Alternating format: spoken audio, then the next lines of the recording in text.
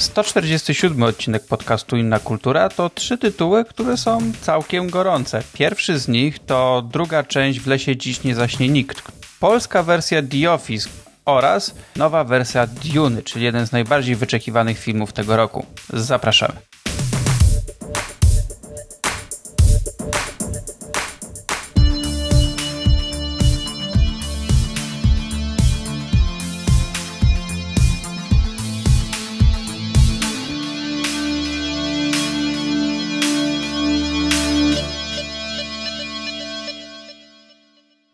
Dzień dobry, witamy bardzo serdecznie w 147 odcinku podcastu Inna Kultura. Niezmiennie, na całe szczęście jest ze mną Julia. Cześć Julio. Cześć, witaj Janie, witam wszystkich słuchaczy. I jest oczywiście ze mną również Michał. Cześć Michale. Cześć, dzień dobry, cześć Janie. Ja, witaj Janie, o kurczę. Cześć Julia. Właśnie pomyślałem, że zawsze się witamy tylko z jedną Cześć, osobą. Michał. No właśnie. tak, to prawda. W dzisiejszym odcinku porozmawiamy sobie o dwóch dość głośnych e, produkcjach z ostatniego tygodnia, no w sumie z ostatniego tygodnia e, i o jednej, która dziś wchodzi, dziś kiedy jest premiera tego odcinka na Netflixa. Czy warto, to, to zaraz posłuchacie. Będziemy mówić o polskim The Office, o filmie W lesie dziś nie zaśnie nikt 2 oraz o Dune czyli jednym z najbardziej wyczekiwanych, wyczekiwanych filmów e, tego roku. Jestem strasznie ciekaw, e, co o tym filmie będzie mówić Julia, ponieważ Julia jako mm, zagorzała fanka powieści bardzo czekała na ten film. Zresztą no, tu jest taka obsada, że mm, też chyba wszyscy na to czekaliśmy. E, plus, no generalnie dyskusja zapowiada się ciekawa, ponieważ jak tak sobie trochę jeszcze po seansach pisaliśmy, to każdy z nas ma trochę inne zdanie, a ja chyba najbardziej. Więc yy, szykuje się dosyć ciekawa rozmowa. To co, chyba nie będziemy przedłużać i zaczniemy. Tak, zacznijmy. Zacznijmy i ustaliliśmy, że będziemy iść poziomem filmów w górę, czyli zaczniemy od y, tutaj takiego naj, naj, w zasadzie najsłabszego ogniwa tak naprawdę całej tej, na, tej naszego zestawienia. E, I to, co też jest zaskakujące, przynajmniej dla mnie, e, bo też, e, czyli będziemy rozmawiać o filmie W lesie dziś nie zaśnik 2, który dzisiaj ma swoją premierę e, w środę. 27 października. E, no i to jest film, o którym też jest ciekawa anegdotka, że to jest jakby jeden z tych pierwszych filmów, w których rozmawialiśmy e, w pierwszym odcinku, w tym pełnym składzie i w zasadzie tak naprawdę od, od momentu, kiedy omówiliśmy w lesie Dziś nie zaśnie nikt, to potem w zasadzie tydzień po tygodniu ja tu się pojawiam, więc też taka miła klamra. No właśnie też miła, niemiła, bo właśnie to jest też ważny element. Pierwsza, pierwsza część była rzeczywiście super ciekawa, fajna, angażująca, zabawna, e, inna, bardzo fajnie korzystająca z tropów kulturowych, też z zagrywek horrorowych widać było, że, e, że reżyser i scenarzysta Bartoszem Kowalski jakby kocha, e, kocha horror, kocha ten gatunek, rozumie e, co, co się w nim dzieje, co w nim gra, jakby jakie elementy powinny się w nim znaleźć. E, scenariusz był napisany przez niego i, i Zradkiewicz. E, no i drugi film tak naprawdę ma ten sam zestaw twórców. E, no i tu właśnie jest pewien totalny paradoks i jakby totalne w ogóle jakby what the fuck just happened, bo y, pierwszy film jest super właśnie fajny, świeży i ciekawy, o tyle drugi film jest po prostu totalnym zakalcem i w ogóle zupełnie jakimś czymś, co, co się nie trzyma ani ładu, ani składu e, i jest po prostu no tak, tak zrobione, że aż człowiek nie ma ochoty tego oglądać. Um, aha, bo ja w ogóle miałem za, zacząć trochę o fabule, a już zacząłem jechać po tym filmie, sorry. E... Tam bardzo ciężko powiedzieć o fabule, więc ja cię, Michał, rozumiem. Tak, ale to ja, to ja jeszcze wrócę w takim razie, zanim już po, odepnę wrotki jeszcze bardziej, to tak, to troszkę fabuły. To jest film, który jest bezpośrednią kontynuacją e, części pierwszej, się rozgrywa w zasadzie e, tego samego wieczoru jeszcze po, po finale tamtego filmu, czyli w momencie, w którym jakby zostało dwóch oprawców złapanych e, i wsadzonych do, do więzienia. E, no i tu jest też paradoks e, pierwszy, i to jakby to jest jeden z już serii tych e, niefortunnych decyzji, które są w tym filmie. Dwójka tych bohaterów tych takich e, pseudokosmitów, to nazwijmy, e, tych, którzy, tych, tych morderców, e, tych mutantów, e, siedzi w jednej, znaczy siedzi w celi obok od, od głównej bohaterki, e, Zosi, granej przez Julię Wieniawę, czyli jedyną osobę, która przetrwała masakrę pierwszego filmu. No i tu już jest pierwszy zgrzyt, jakby dlaczego w zasadzie oni oboje siedzą, jakby oprawca i ofiara, jakby cela w cele obok siebie i w zasadzie mogą wręcz na siebie patrzeć tak naprawdę, bo nie, niewiele ich tam oddziela od siebie. E, no i potem, i to jest jakby punkt wyjściowy, że, że właśnie są e, wszyscy ci bohaterowie, którzy przeżyli część pierwszą w, ty, w, tym samym pomieszczeniu. No i poznajemy nową, nowych bohaterów, którzy są policjantami, którzy próbują rozwiązać, co się w zasadzie wydarzyło e, tej nocy feralnego, więc wracają na miejsce zbrodni. Wracają na miejsce zbrodni wraz z, z Zosią, czyli z Julią Wiedrawą. No i tutaj się zaczynają właśnie dziać rzeczy, jak to Julia lubi mówić. E, mianowicie e, w pewnym momencie e, bohaterka siada na łóżku, pod którym był ten słynny meteoryt z części pierwszej, który przemienił naszych bohaterów właśnie w te, te owe mutanty, które były przerażające i atakowały wszystkich ludzi. No i nagle z meteorytu wy, wyciąga się jakaś czarna maź, która Jak jakby... Jak w Venomie trochę tak. Ja, I ona jakby oplata nogę naszej bohaterki, przez nasza bohaterka też zmienia się w monstrum. Du, du, du, du. E, no i to jest jakby taki zalążek fabuły. Potem tak naprawdę dostajemy mm, jakby jej jakby jej polowanie e, na, na, na nowych bohaterów, którzy się pojawiają. No i tutaj generalnie jakby totalnie nie ma to żadnego sensu. Jakby w sensie nie wiadomo jakby dlaczego ona to robi, po co to robi. Tak naprawdę w pewnym momencie wtedy tego scenariusza jakby wprost z ekranu padają niby słowa, dlaczego to robi, tylko są tak głupie i tak denne i tak proste, że po prostu masz takiego facepalma za facepalmem. A więc to jest w ogóle mega dziwny, mega dziwna rzecz, bo no właśnie pierwszy film jakby korzystał z tych wszystkich rzeczy, które były oklepane, ale jakby dodał coś nowego. A ten film w ogóle totalnie ma pomysł na siebie i, i w ogóle jakby jest totalny chaos. E, ja rozmawiałem ze znajomą dzisiaj a propos właśnie tego, że jak to jest w ogóle możliwe, że, że po tak dobrym filmie tak bardzo spaść na, na dno. E, no to ona też zwróciła uwagę na coś, na co ja nie, nie, nie, patrzyłem, no że to już pro, e, proces produkcyjny był dużo szybszy. Jakby tam ten film był rzeczywiście e, jakby z, z chęci serca i jakby dopieszczany przez, przez lata i w zasadzie przez miesiące i mógł być długo tworzony, natomiast tutaj ten film no powstał e, no max te półtora roku, tak od premiery poprzedniego, więc jakby no ten czas chyba, e, który, który mieli produkcyjny, jakby widać ewidentnie, no pisanie scenariusza w tak szybkim tempie im totalnie nie wyszło. Już wam oddam głos, żeby się nie pastwić w tym, w tym wstępie aż tak nadmiernie. Ja, ja dodam, że jakkolwiek by dużo rzeczy z fabuły, które opowiedział Michał, nie brzmiały ciekawie, to niech was to nie zwiedzie, bo to wcale ciekawe nie jest. Niestety. E, ja, kiedy oglądałem ten film, spojrzałem na zegarek i zobaczyłem, że oglądam go już przez pół godziny. To jest jedna trzecia filmu, bo on trwa półtorej. I, i się zdziwiłem, że w zasadzie nic się w tym filmie nie wydarzyło. Sensie takiego, co by mnie wciągnęło, co by mnie zainteresowało. No nic, po prostu kompletna nuda i zgodzę się totalnie z tym, co mówił Michał, że pierwszy film był, no jakby nie patrzeć, był, był bardzo świeży i był świetny. No omówiliśmy go, tak jak wspomniałeś w jednym z odcinków, to był odcinek 84, jeśli ktoś nie, nie słuchał, to, to zapraszam. E, I tam naprawdę było czuć to, to też wspomniałeś, takie serce twórców, że kurczę, zamiłowanie do horroru tutaj było widać. Ja myślę, że można go porównać trochę, yy, oczywiście z przymrużeniem to porównanie proszę traktować, trochę tak do, do krzyku, ponieważ to jest takie fajne bawienie się formą i bycie samoświadomym, co się dzieje w horrorach, w slasherach i trochę bawienie się tym wszystkim. I właśnie taki był pierwszy ten film.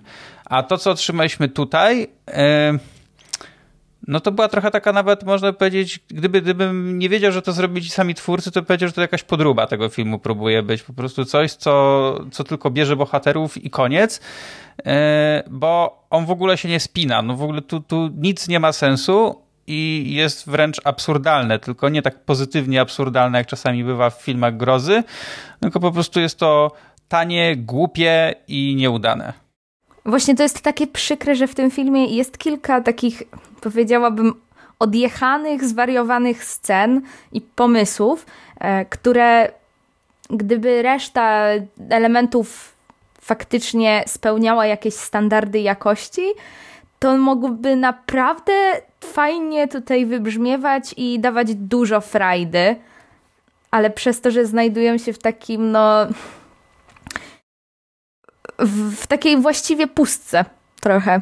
Są tak rzucone w eter, e, jakby kiedy nie masz nawet za kim tam podążać, a tak jest w przypadku tego filmu, bo jego postacie są absolutnie najbardziej nieciekawymi osobami na świecie, to jakby no wszystko jest zmarnowane, nie ma co jakby no tak, no ja jeśli chodzi, to ja się odbiję od tego, co ty powiedziałeś, bo tam przykład jest jedna bardzo ciekawa koncepcja, która gdyby została poprowadzona dobrze, to mogłaby robić rzeczywiście piorunujące wrażenie, e, czyli taki motyw, w którym jakby my jesteśmy mm, oczami tego napastnika, jakby oglądamy, jakby razem z, z tą bohaterką, jakby się mm, przez okno jakby zapatrujemy na te ofiary, które będziemy za chwilę e, jakby nagabywać, tak? Tylko, że tak naprawdę to jest motyw, który się pojawia i znika i nic z niego nie wnika, jakby w ogóle tam nie ma żadnego napięcia.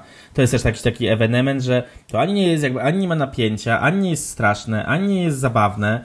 Jedyne co jest, to jest jakby bardziej krwawe i widać, że na przykład tutaj budżet bardziej był poszedł w efekty specjalne, bo rzeczywiście to jest bardziej takie e, dosadne i takie e, dosłowne tak naprawdę, jeszcze bardziej niż było w poprzedniej, poprzedniej części. Tylko, że jakby temu wszystkiemu jakoś brakuje takiego... Mm, no takiej autoironii trochę, znaczy w sensie ja nie wiem za bardzo e, jakby no tam po prostu wszystko leży. Tam jest też taki ciekawy moment, znaczy ciekawy, właśnie taki zaskakujący moment, w którym jakby yy, pada takie zdanie z ekranu, no to jakby wyjaśnij mi jakby dlaczego my w ogóle jesteśmy tymi potworami, tak? I jakby nie dostajemy origin story, którego nie słyszeliśmy, tylko tak naprawdę dostajemy streszczenie tych, tej godziny, którą widzieliśmy przed chwilą. I to jest takie, no to po co? To po co jest ta scena? I to było takie totalnie jakby, jakby mam wrażenie, że te sceny były po to, żeby coś się działo na ekranie, niż żeby się spinało, bo tam po prostu jakby no nie ma jakby nie ma w ogóle połączenia ze sobą tak naprawdę tych rzeczy. Mnie na przykład jeszcze mocno bardzo za, ubodło i jakoś tak, tak zasmuciło i na przykład też, y, no, no tak, zasmuciło najbardziej. No, yy, był świetny, po prostu się zachwalaliśmy bardzo dobrze w poprzednim filmie yy, Wojciecha Metzwaldowskiego, yy, czyli w jakiś sposób to jest taki fan favorite trochę.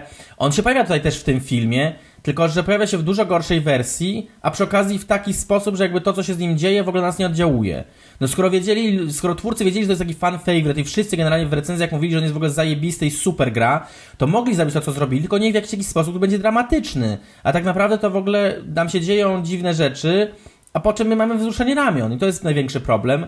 Tak jak Jan powiedział, ja nie wiem, jak jest w ogóle możliwe zrobić nudny horror, a to jest po prostu nudny horror tak naprawdę. Jakby nic... On nic sobą nie niesie, to jest w ogóle jakiś totalny ewenement i, i, I ja jestem po prostu no, srogo zawiedziony i jestem aż taki wkurzony tym, że to aż tak się, e, aż tak to wyszło, bo naprawdę pierwszy film był taki naprawdę ciekawy, fajny, żwawy i jakby ja byłem wielkim orędownikiem tego dzieła, tak jak zresztą, mm. tak jak zresztą wy, więc jakby no, nie wiem. No i dodatkowo mamy tutaj chociaż chyba y, skromniejszą, to też dobrą obsadę, kurczę, bo jest tu mm, no oczywiście Julia Wieniawa, jest Mateusz Więcławek, Zofia Wichłacz, Grabowski, E, Sebastian Stankiewicz, pozdrawiamy. No, więc tutaj mamy naprawdę fajną obsadę, z której można było coś wycisnąć, i, a mam wrażenie, że jakby wszyscy znikają z tego ekranu trochę za szybko, e, a zostają ci, którzy są, którzy mają trochę najmniej do powiedzenia. Mhm. mhm. Znaczy ja to w ogóle to jeszcze w takim kontekście, to mnie też, to, to mnie akurat też ubodło mocno. No ten film się kurczę zaczyna tym, y, tym pokazaniem tych dwóch monstrów z poprzedniego filmu, po czym oni tak naprawdę są tak totalnie, oni są w ogóle niewykorzystani. Oni się pojawiają w pierwszej scenie i w ostatniej. Jakby po co? Dlaczego? No to po co oni tam są? To jest w ogóle jakiś taki totalny, że to jest ten film, który w ogóle mam wrażenie, no tak niewykorzystanych szans, że po prostu aż głowa mała, no jakby też jest beka trochę, że jakby no flaki tam rzeczywiście się leją, no dosłownie się leją z ekranu, ale jakby nie masz, no i so what? Jakby nie masz żadnego jakby żadnego napięcia, żadnego payoffu, no nic nie masz. W zasadzie to jest taka po prostu jadka dla jadki i jakby nic z tego nie wynika. No w ogóle totalna maniana, nie wiem w ogóle jak to można... Znaczy jestem po prostu w ciężkim szoku, że dało się z dobrego filmu zrobić tak miałkie coś, no. Zwłaszcza, że istnieją slashery, które są zrobione dla jadki, no ale jakoś się przynajmniej tam coś czasami tej kupy trzyma, a tutaj no, totalnie mi to zabrał. Zresztą, tak jak już mówiliśmy, wieje nudą. Po prostu, no nic. Ci, ci, ci bohaterowie też znikają w takim tempie, że nie mamy nawet chociażby chwili, żeby się do nich w jakiś sposób przyzwyczaić, żeby ich, nie wiem, polubić albo znielubić. Mhm. Tylko zanim wy, wyzwolą w nas jakiekolwiek emocje, to nagle jest trach, ciach i już ich nie ma, nie? Ale to jest tak paradoksalne, że oni z jednej strony tak szybko znikają, rzeczy w tym filmie dzieją się bardzo szybko, a on się równocześnie ciągnie tak, jak tak. po prostu to, ser. To jest jakiś totalny ewenement. Ja w ogóle nie wiem, znaczy w sensie mam wrażenie, że będą, mam wrażenie, że mogą uczyć tego w szkołach filmowych, jakby jak nie robić filmu, no bo naprawdę wszystko tam leży. Po prostu, no... no zwłaszcza, że to jest, to jest o tyle zmarnowana szansa nie tylko jako po prostu na, na całkiem niezły film, tylko jednak na to kino z tego gatunku horrorów, których i tak jest mało w Polsce, więc po prostu robiąc już horror i jeszcze totalnie tego nie wykorzystać, to jest naprawdę takie, no strzelmy sobie w kolano, a zaraz potem w stopę. No, Więc jesteśmy, szkoda. Jesteśmy bardzo negatywnie nastawieni i sorry, że tak aż, aż tak ciśniemy, ale naprawdę niestety kurde jest za co. No. W sensie jesteśmy po prostu no, no aż zniesmaczeni, że ten film wygląda jak wygląda, bo naprawdę no, miał potencjał być świetny. E, I tak naprawdę w tej sytuacji po prostu lepiej sobie obejrzeć kolejny raz jedynkę i, i w ogóle zapomnieć o tym, że ta dwójka Poczekajcie, jak no. zaczniemy o Dune mówić, budowanie napięcia. Dobra, myślę, że, że możemy już skończyć, chyba, że macie jeszcze coś do dodania, ale ja bym po prostu już stwierdził, że no dobra, jeżeli ktoś chce mhm. bardzo, to, to obejrzyjcie, ale jedynka jest znacznie lepszym filmem i jeżeli nawet nie chcecie sobie psuć jakby jakiegoś wrażenia, jeśli wam się podobała, to, to nie oglądajcie tej dwójki, bo no niestety, z przykrością stwierdzam, że nie warto. Hmm, no niestety, podpisuję się ale tym akcentem możemy przejść do czegoś, co dokładnie na odwrót. Y, y, jakby wszyscy oczekiwali, że będzie źle, a, a wyszło świetnie. Tak, także Jan, proszę bardzo. E, tak, będziemy mówić teraz o polskim The Office, co prawda cały czas się zastanawiam, dlaczego to się po prostu nie nazywa biuro, e, ale... Bo nikt nie mówi na zagraniczne wersje biuro. Naprawdę? Ale wszędzie tak, ja wszędzie tak, wszędzie tak widnieją, więc jakby... Tylko na jakimś filmwebie czy gdzieś, nawet na teraz na Netflixie czy na Kanal Plus chyba już też jest jako okay. Office. No dobra, no nieistotne. To takie Nieważne. Poza tym Polsk... niby, różnica była niby też taka, że to, e, to brytyjskie się nazywało niby biuro i rzeczywiście przez moment funkcjonowało jako taka, ale amerykańska już rzeczywiście funkcjonowała jak The Office od razu, tak jak, tak jak Julia w zasadzie mówi, więc to jest tak też, tak się już przyjęło w tej nomenklaturze trochę. Tak, y, kilka dni temu, w zasadzie tam chyba ponad tydzień już y, wszedł na platformę Kanal Plus Online polska wersja The Office.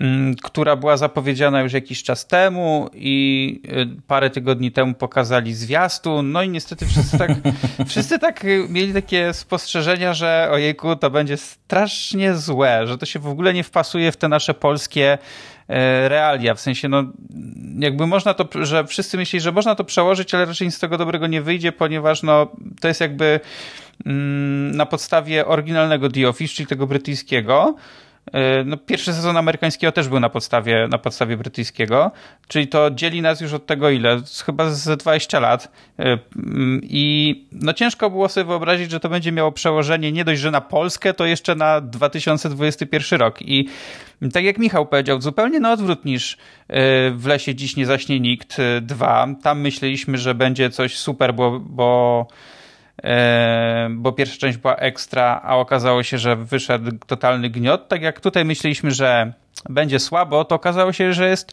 dobrze, a nawet w pewnych momentach bardzo dobrze.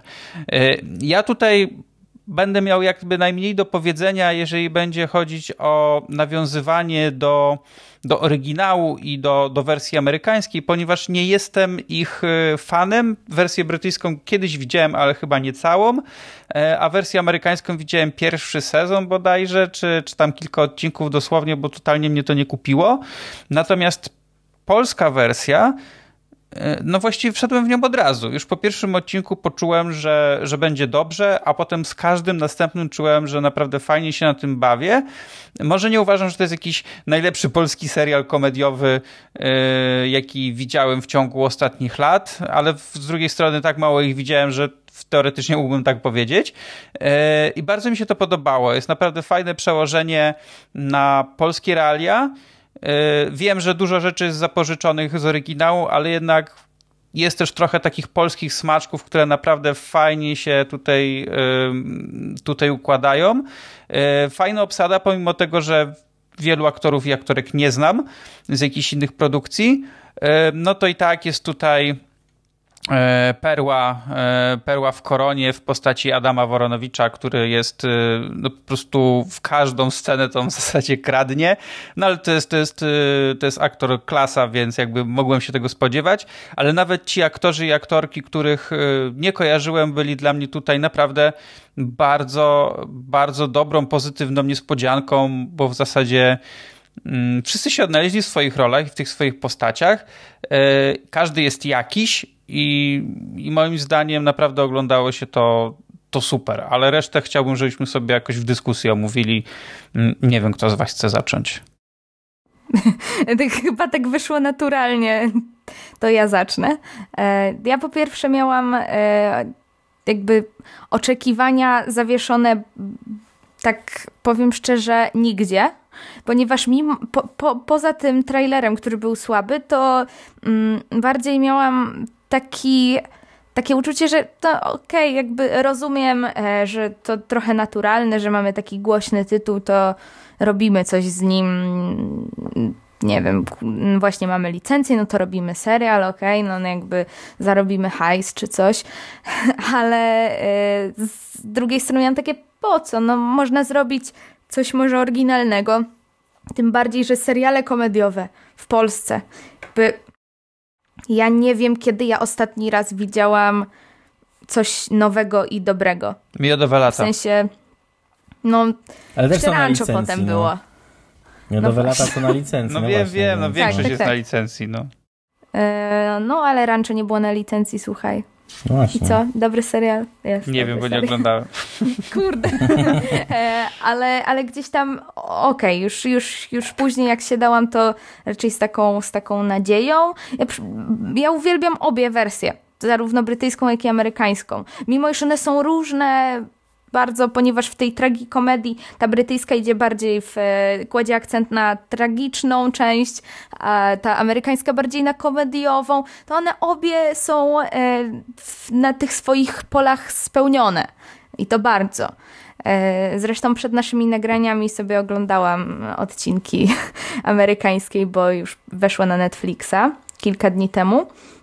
Mm, I jak usiadłam już do tej polskiej wersji, to powiem szczerze, że naprawdę mnie zaskoczyło.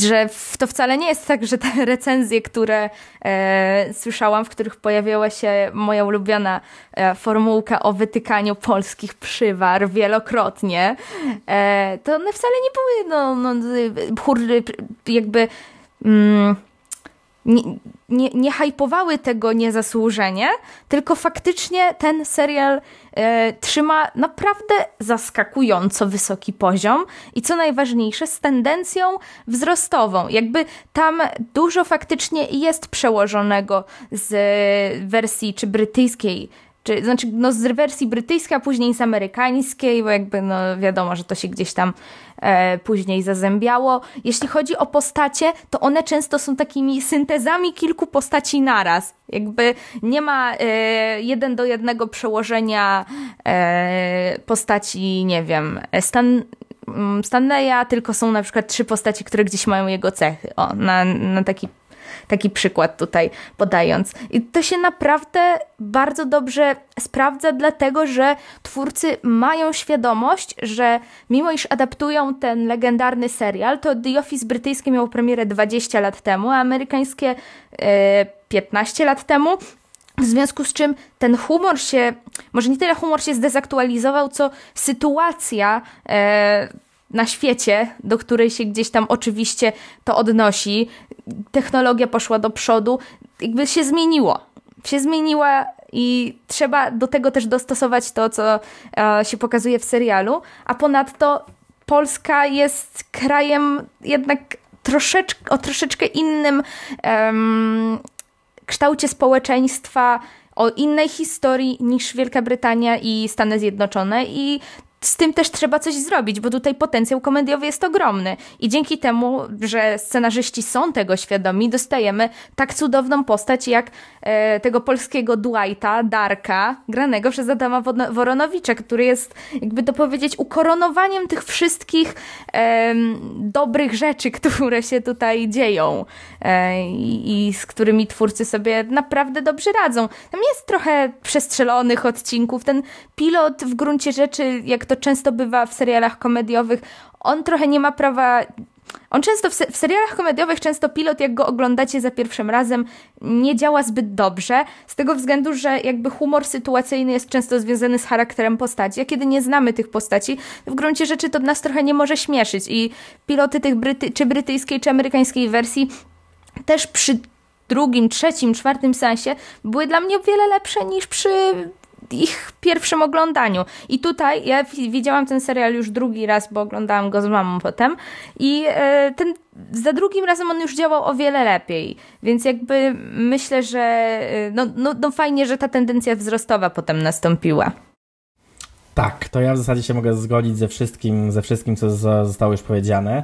E, ja się odniosę do jednej rzeczy, która też jakby mnie, mnie personalnie bawi, e, dlatego że Julia tutaj mówiła właśnie, że no recenzje wspominały właśnie jak to się śmiejemy wybornie z polskich przywar, więc jakby mnie najbardziej bawi, ja użyłem pierwszy raz ever, kiedykolwiek tego sformułowania, nigdy w życiu go nie użyłem wcześniej, użyłem go pierwszy raz, a potem od razu właśnie Julia, no i znowu ludzie tak piszą. A ja takie cholera, no a ja właśnie napisałem pierwszy raz ever, ale właśnie dlatego, że naprawdę ten, ten serial jakby z mojej perspektywy wiesz, mm, jakby naprawdę wiesz, z czego to wynikło? Robi. No. Że w tym roku mam wrażenie, że jest tyle różnych filmów, a bardzo duża część, szczególnie tutaj e, tej, nazwałabym to, nie wiem, liberalnej krytyki filmowej. O Jezu no nie wiem, nie wiem jak nazwać tą grupę, bo to są bardzo konkretni ludzie typu Karolina Korwin-Piotrowska, którzy przy każdym filmie potrafią podciągnąć to, e, mhm. że jakby ten film jest o polskich przywarach, albo mówią, o Tomasz Raczek, że ten film zaboli Polaków, bo, mhm. e, bo coś tam, coś tam i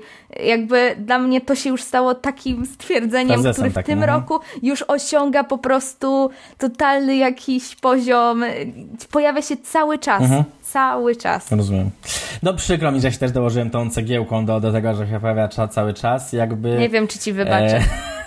Ale no, ja właśnie chcę wyjaśnić, jakby, że jakby po prostu czułem, że tutaj akurat w tym wypadku jakby rzeczywiście to się, to się sprawdza i rzeczywiście jakby no, na ekranie to, to widnieje i to jakby w tych widać doskonale jakby w, w rozpisaniu tych postaci, w ich charakterologii, e, też w tym ustawieniu tej sytuacji, która tam jest.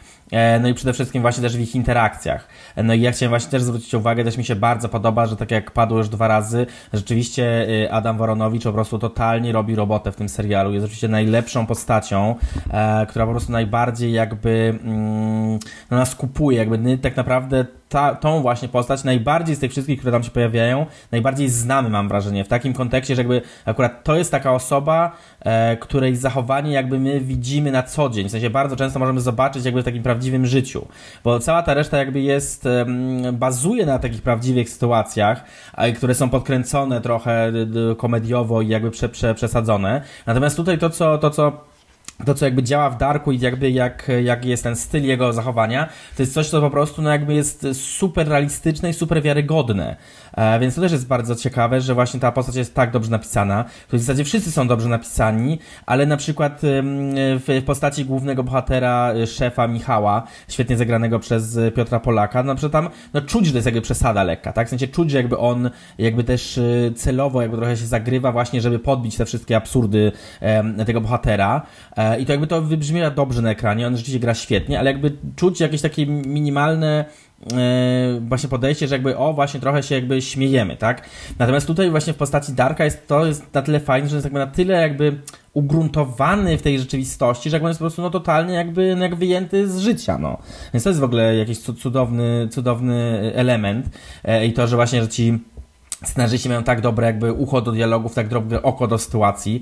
E, mi się też naprawdę bardzo podobało na przykład to, że e, totalnie last minute wrzucili, wrzucili e, tekst o cnotach niewieścich, tak, do tego serialu. Co tak jakby zupełnie jakby też od razu komentuje naszą bieżącą sytuację i też pokazuje, jak, jak oni mają ucho do dialogów i jakby jak ugruntowują e, no, ten serial jakby w tej rzeczywistości, w której żyjemy i w tym właśnie 2-2-1, e, że jesteśmy, tak? Ale co do tego ucha dialogów, to ja mam jedną uwagę, mhm. bo tam jest jeden element, jedna postać, która przez scenarzystów jest bardzo skrzywdzona.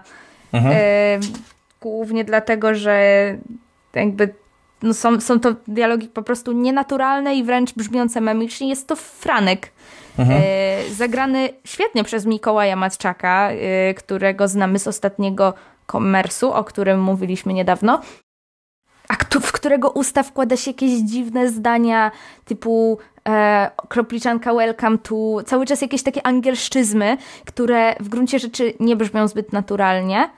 E, albo ro, ma, rozmawianie o technologii tak, jak sobie to wyobrażają e, no, osoby nie z pokolenia, z którego jest Franek. Okay. Może tak. Że, że przydałby się, przydałby się consulting tych, tych osób tak. tam 15 lat młodszych, okej. Okay. Troszkę no wiesz, tak. bo y, no, ci ludzie, którzy są... Znaczy, nie wiem, może i był. Może był, ale właśnie też ja zmierzam do tego, że właśnie te scenarzyści The Office nie są też jakby aż w takim... Y, aż tak jakby posunięci wiekowo, więc to też nie jest aż tak y, jakby oderwane od, od, od rzeczywistości, no, więc... -hmm. Ale rozumiem, o co ci chodzi. Znaczy, tak, jakby ja tego aż tak nie dostrzegam, ale też dlatego, że bardzo mi się podoba, że użyłaś sformułowania krobliczanka welcome to, bo ja wrzuciłem właśnie dwa dni temu post na Instagrama dokładnie z tym opisem, więc jakby ja ja nie wiem, no ja już jestem w sumie ze starszego ja jestem już tego starszego, nie wiem czy starszy, nie wiem jak to określić. W sensie, no bliżej mi do scenarzystów The Office niż do ciebie pewnie w wieku i jakby no ja tak mówię, no więc nie wiem. Ale rozumiem, że okej, okay, ale masz rację, no bo Franek jako postać jest bliższy wiekiem tobie niż mi, więc rozumiem ten zarzut, okej. Okay, Jeśli tak. chodzi o Franka, to Czaję. jakby nie zwracałem aż tak bardzo uwagi na te, na, na te dialogi, to co ty mówisz, Julia bo ja jeszcze jest, jestem jeszcze starszy, więc może to dlatego. E, ale mi się podobało, jeśli chodzi o jego postać, te takie sytuacyjne trochę zagrywki, typu właśnie w odpowiednim momencie spojrzenie w kamerę, albo mhm. odpowiedni uśmiech do sytuacji. Taki wiesz, e, nie wynikający z samych dialogów e, i z wypowiadanych słów, tylko bardziej taki już z ogrania samej postaci. Uważam, że on się sprawdził w tym serialu świetnie nawet bym go zaraz chyba po Woronowiczu postawił, w moim odczuciu. E, ale też tak jak wspomniałem e, wcześniej, no w zasadzie wszyscy mi tutaj fajnie, fajnie się wpasowali. No nie ma osoby, która, mm, która bym stwierdził, że e, no nie pasuje mi do roli. No, ale zgadzam się na przykład też z tym, co Michał powiedział, że w przypadku głównego, no, najgłówniejszego bohatera, czyli Michała Holca, e, granego przez Piotra Polaka, no widać czasami to przeszarżowanie i takie wchodzenie już A, poza krawędź. No. Właśnie, to jest, ważna, to, to jest ważna rzecz, bo niedawno czytałam wywiad z Piotrem Polakiem i e, Mar e, Jaśminą Polak, aktorką, prywatnie siostrą Piotra Polaka, którzy grają razem, jakby oni głównie są aktorami teatralnymi. Mhm. Mm, grają przede wszystkim w Nowym Teatrze e, u Warlikowskiego i jakby wielokrotnie, nawet zdarzało im się grać parę, co jest ciekawe. I w tym wywiadzie Piotr Polak opowiada o swoich przygodach z planu filmowego i o tym, jak bardzo e, jak bardzo twórcy muszą go hamować, ponieważ jego e, warsztat jest dos bardzo dostosowany do tego teatralnego jednak e, świata. I on tam opowiadał chyba anegdotkę akurat z tego jego najbardziej znanej roli jak dotąd, czyli z człowieka z magicznym pudełkiem Bodo Coxa, gdzie tam mówił podobno, że mniej jakby Polak, ten jeden, kilka procent Polaka w Polaku tylko, mniej, mniej, żeby dawał. Um, tutaj to jest o tyle jakby ta jego teatralność, mam wrażenie, przydała mu się. Um, bo nie wiem, kto by zagrał tę rolę na tyle, y, nie, nie wiem, czy aktor bez tego zaplecza teatralnego zagrałby tę rolę na tyle jakby e, naturalnie albo na tyle pasując do tego świata. E, on mi się bar naprawdę bardzo, bardzo wierzę w to, y, że on później zrobi coś y, jeszcze więcej z tą postacią, jeśli będzie oczywiście kolejny sezon i że jednak trochę mm, mm, może nie tyle jemu odejdzie ten efekt przeszarżowania, co trochę nam odejdzie jako widzom. Mhm. Bo to też jest ważne, że mam wrażenie, że te postacie przeszarżowane e, trochę się trzeba do nich przyzwyczaić gdzieś tam. I, I, jakby mnie to, mnie to za bardzo nie przeszkadzało. Znaczy, to, to nie, nie jest też takie, że mi to jakoś mm -hmm. przeszkadzało, po prostu czułem to. Ale okay. też jakby to, co ty mówisz, to mi się przypomina, co pisało parę osób na Twitterze, a chyba przede wszystkim Kasia Czajka, że e, w momencie, jak, jak będzie już, jeżeli to będzie kontynuowany serial, to może on pójdzie też w jakąś swoją stronę. Mhm. Bo tutaj, tak. tutaj czuć, że on jednak dużo się opierał na oryginale. Mm, z, z racji licencji zapewne, e, ale jeżeli, jeżeli będzie to będzie kontynuacja i to pójdzie trochę w taką trochę własną ścieżką, to też mogą się te postaci trochę zmienić. Na przykład właśnie ta, ta jakaś takie przeszarżowanie się może trochę zmniejszy albo zwiększy, no nigdy nie wiadomo. Więc y, ja nie mówię, że to mi jakoś bardzo przeszkadzało, po prostu to czułem, ale i tak uważam, że to jest świetnie zagrana postać, y, która y, może nie, nie przypasowała mi najbardziej, ale naprawdę miała też takie momenty, że no, leżałem na boku i się śmiałem, więc y, generalnie uważam, że cały serial jest naprawdę bardzo dobry, no i Dawid podsiadło. O, nienawidzę tego wątku. To ja zanim przejdziemy do, do tego wątku, jeszcze chciałem ja tutaj e, dwa słowa wrzucić o, o, o, o Piotrze Polaku i o, tej, o tym sposobie gry i, i jakby o tym, że e, no tak jak już padło trochę, ja, ja też trochę czułem, że no właśnie jest tak, taki bombastyczny jakby na celowo i taki przeszarowany celowo, ale jakby ja czuję, że to jest jakby, no jakby, że to gra, w sensie to jest tak, że też jest jakby pozwala mm, tutaj temu aktorowi jakby stworzyć zupełnie nową postać, jakby nie mieć, jakby zapomnieć w ogóle, że on jest jakby kolejną wersją e, postaci, którą już w jakiś sposób znamy, tak? E, że jakby mógł stworzyć rzeczywiście postać, która jest jakby rzeczywiście totalnie jakby jego, jakby nie musi pamiętać o tym, że byli, byli wcześniejsi aktorzy, którzy się e, w podobną, podobną rolę wcielali, e, więc jakby mi się to bardzo podoba akurat, że on jakby tutaj tak gra. Też bardzo mi się podoba właśnie w tym kontekście chwalenia tutaj aktorów, bo teraz bardzo mi się też podoba też Vanessa Alexander. Tutaj padło właśnie, że są aktorzy, których jakby nie znamy. To jest właśnie taka aktorka, której ja nie widziałem wcześniej. Widziałeś w sali samobójców w hejterze. A. Okej, okay, to tam, e, okej, okay, no to, no to widziałem, okej, okay, spoko, to nie zorientowałem się, że to jest ona, spoko. E, good job w takim razie i, i make-upowo i, i artystycznie w takim razie, bo zupełnie nie, nie zajapałem, dobrze, dziękuję. E, no ale to okej, no to tutaj właśnie ma taką rolę, która jest rzeczywiście ciekawa i inna i, i rzeczywiście zaskakująca. I mi się bardzo też podoba właśnie, że oni są ograni jako takie w zasadzie w sumie nawet dwie strony, nawet w zasadzie w sumie jedna strona tej samej monety, bo oni jakby się patrzą na siebie jak w lustrze trochę, to jest super, że oni są tak bardzo podobni i tylko drobne elementy ich różnią e, i jakby to jest też fajna ta dynamika między nimi, jakby to też mi się podoba, jak to rozegrali w, właśnie w serialu. No i też mi się bardzo podoba, y, no w ogóle ta dynamika w ogóle tych wszystkich relacji, które tutaj są. Tak jak to już padło wcześniej, każdy jest jakiś, i każdy ma jakiś swój zestaw y, charakterystycznych cech i jakby to się ładnie wszystko ze sobą zazębia.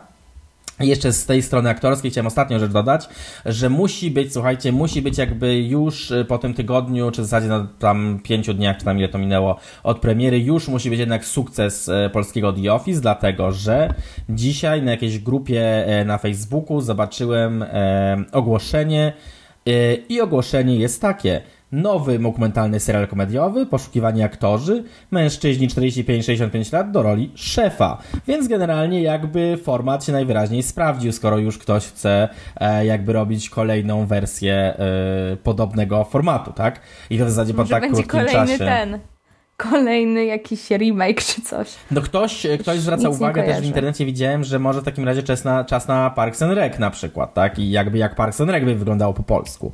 A po więc... Parks and Recreation w Polsce to jest, te, to jest coś, co musi się tutaj znaleźć. To jest jakby ja od, to, to, jest, to jest wymarzona rzecz. Jakby w polskim urzędzie. Mhm. Serial. Mhm. Dokument w polskim urzędzie. Przecież to jest No właśnie, więc może, może, Marzenie. więc jakby to, to, to Ale no tam by nie że... pasował szef w tym wieku za bardzo chyba.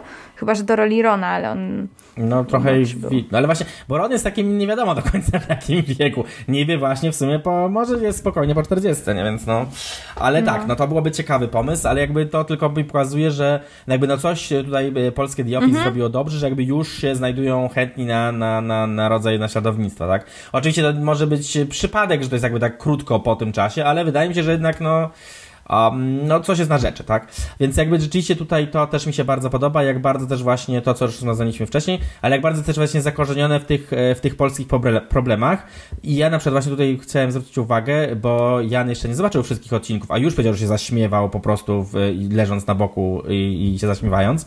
I Jan jeszcze nie dotarł do najlepszego odcinka tego serialu, odcinka 11, odcinka pod tytułem Krzyż, którym po prostu odpięte są wrotki totalnie. Totalnie. Tam w sensie dostaje się wszystkim, każdemu jest po prostu wyborny ten odcinek. Ja po prostu y, śmiałem się w zasadzie cały czas. Więc Znaczy- y, szapoba. Ale ja jeszcze, ja- jeszcze mogę, no, wiesz, no. przepraszam, że się tylko wetnę na chwilę, bo ja sobie ten serial oglądam, a, a moja żona e, go nie oglądała ze mną, tylko wiecie, tak coś tam sobie robi i tak akurat mm, zerknie okiem, co się dzieje na ekranie. I w momencie, kiedy ja się śmiałem, to się na mnie patrzyła jak na debila, nie? Bo sama nawet powiedziała, że to chyba nie jest po prostu jej rodzaj jakby humoru. E, więc te też, te, też zwracam uwagę, że nie, wszystkim, nie wszyscy może mogą to kupić, no ale zresztą tak samo jak było w przypadku oryginałów. No, mnie oryginał nie przekonały, może zrobię sobie jeszcze kiedyś do nich kolejne podejście. E, tylko często mi się przy oryginałach po, pojawiał ten, wiecie, ten, ten argument, który pada często, no bo przy którymś sezonie to już się robi spoko, nie? Więc y, to jest trochę takie, tak niestety czasami jest, ale e, oddaję już ci Julia głos, ja tylko mówię, że no mi się podobało i pewnie jak skończymy nagrywać, to będę kontynuować oglądanie, żeby te ostatnie parę odcinków już sobie obejrzeć. To, to ja tylko... Ja tylko... No, to ja właśnie Okej. tylko, jeszcze, sorry, tylko zanim to podsiadło, to tylko ostatnią rzecz, że ten serial mi się na tyle podobał, że ja na przykład właśnie nie znałem The Office wcześniej, w sensie wiedziałem, że istnieje, wiedziałem, że jest kultowe i tak dalej, ale nie widziałem, więc polskie The Office tak bardzo mi się podobało, że sięgnąłem już po amerykańskie i na razie się trochę, trochę właśnie mam, mam, mam trochę ból, bo na razie nie jest jeszcze dobrze, ale właśnie jak Jan powiedział, w którymś momencie się rozkręci, więc czekam na ten moment, ale chodzi mi o to, że też jest właśnie fajne, że jakby ta polska wersja jest na tyle ciekawa, że jakby ma się ochotę jakby wrócić do, do tego, skąd ona się wywodzi też. Już. E, Tak. ja, ja właściwie nie chciałam przechodzić do tematu podsiadło, tylko e, właśnie przy, w, jak mówiłeś o tym krzyżu i o tym, że odpinają wrotki i się dostaje wszystkim, to ja właśnie e, chciałam powiedzieć, że odpinają wrotki i po prostu jest to niedorzeczne i jakby dlatego, bo już mi po prostu z tym, że się dostaje wszystkim, jest, e, są odcinki, w którym się dostaje wszystkim i są tragiczne, więc jakby, więc Okej, jakby e, tylko to od siebie chciałam dodać Y, po prostu. tak, okej, jest tak bo- jakby to Mhm, jest, ja tylko zobrazuję, dlaczego ten odcinek jest wybitny.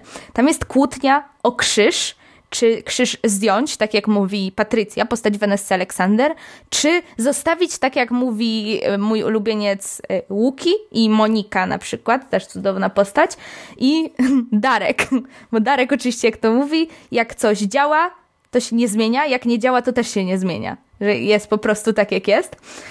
I tam jest taki wątek, że Łuki i Darek zaczynają pilnować tego krzyża na zmiany, porozumiewając się ze sobą krótkofalówką, pilnować krzyża w biurze.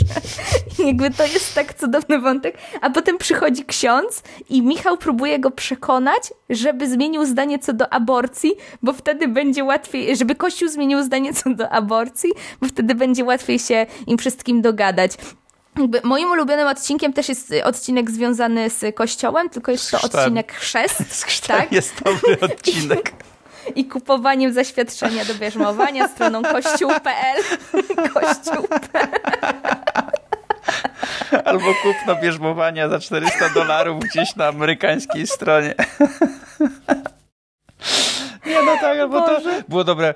E, No, cieszę się, że zostanę twoim ojcem, ojcem chrzestnym twojego dziecka. Nie, no, Michał, no ale, no, no nie, no, już, już kto inny. Ale słuchaj, ile się daje teraz na chrzciny? Daję dwa razy więcej. Ja też się cieszę, tak, tak. To miło mi, że ty będziesz ojcem chrzestnym mojego dziecka. po motyw z ładą. To po prostu ogólnie jest, napra jest naprawdę sporo fajnych perełek w tym serialu, które no nie chcę mówić e, tego sztampowego, co Julia powiedziała, że tu się Polakom dostaje polskie przywary i w ogóle, tylko po prostu to, to, to, nie o to chodzi. To po prostu pokazuje w pewnych momentach to, jacy my jesteśmy, ale nie, że ma się nam dostawać. Trzeba na siebie patrzeć także przez ten przez śmiech i, i to, się temu, to, to, to się temu serialowi naprawdę bardzo dobrze udaje, że e, jeżeli do kogoś trafia to poczucie humoru, to można się fajnie śmiać z siebie, będąc też świadomym tych jakichś takich różnych e, absurdów, które my mamy. Więc e, ja trzymam kciuki, mimo że nie wierzyłem w ten serial, to teraz e, biję się w pierś, mówię, że wyszło naprawdę fajnie. E, trzymam kciuki za kontynuację. E, to ja jeszcze dodam od siebie tylko ten element właśnie, e, jeśli chodzi o to, o to śmianie się z siebie. Tak, właśnie to też jest niezwykle, niezwykle ważny element e, i też jest coś, co akurat Adam Woronowicz powiedział mi jakby w rozmowie właśnie, że to jest super właśnie w tym serialu, że to nie jest jakby śmianie się z kogoś, tylko naprawdę właśnie śmianie się z siebie, tylko jakby, że my te sytuacje, które robimy, te absurdalne i jakby to, ten śmiech, który się tam pojawia, to jest tak, że tak naprawdę każdy jakby trochę do, jakby obraca wobec siebie, tak? W sensie oni są tak właśnie przerysowani w jakiś sposób, że jakby oni są zabawni, bo oni są zabawni. Nie jest tak, że naśmiewamy się jakby z cudzych cech, tylko jakby właśnie z tych własnych tak naprawdę. To jest też jakby, że no humor jest jakby skierowany i ten jakby ten taki, to takie żądełko po prostu podjudzające jest jakby no w nas skierowane. To jest właśnie super, że tak jak właśnie Jan przed sekundą powiedział, że jakby ten serial, który nam pozwala jakby śmiać się z nas samych. Jakby z tego, jak, jak to życie, jakby ta nasza rzeczywistość wygląda, tak? No i też dlatego mi się wydaje, że dlatego tak każde z nas, może tego Darka tak mocno um, podkreśla, że jest tak dobrze zrobiony, właśnie, bo on jest taki najbardziej właśnie ugruntowany w tym życiu jakby jego tego zachowania właśnie są takie najbardziej prześmiewcze, ale w ten taki taki pozytywny sposób. Dobry to sposób. nie jest tak, tak, mhm. bo to mhm. chodzi, to jest właśnie też kluczowe, że to nie jest tak, że, um, że się wyśmiewa, tak, tylko właśnie tak, że się śmiemy z kimś jakby. To jest właśnie bardzo ważna różnica, że jakby to jest takie, no taki w dobrym i w dobrym tonie, ale też takim dobrym, no, feelingu, znaczy w sensie takim, że jakby no, yy, no no właśnie, że się nie naśmiewa, tak? No, brakuje mi tego słowa, o co mi chodzi, ale że to jest po prostu taka pozytywna atmosfera, że jakby każdy jakby tam no, czuje się dobrze z tym w jakiś sposób. Więc to jest jakby też fajne, że udało się właśnie to stworzyć tak, że jest po prostu takie no, inkluzywne w jakiejś, jakiejś takiej naturze, bym powiedział. Mi w całym serialu, to też jest rzecz związana z Darkiem, podoba się jedna rzecz, tak najbardziej że on jak wchodzi do biura, to zakłada te takie kapciuszki skórzane. to jest piękne, tak, bo mi się tak, przypomina, jak, jak jeszcze byłem e, dzieciakiem, no to takie faktycznie kapciuszki każdy miał w swoim domu. No po prostu wchodziłeś do domu, ściągałeś buty i zakładałeś takie skórzane kapcie, które teraz się kupuje gdzieś na bazarze w odległej galaktyce.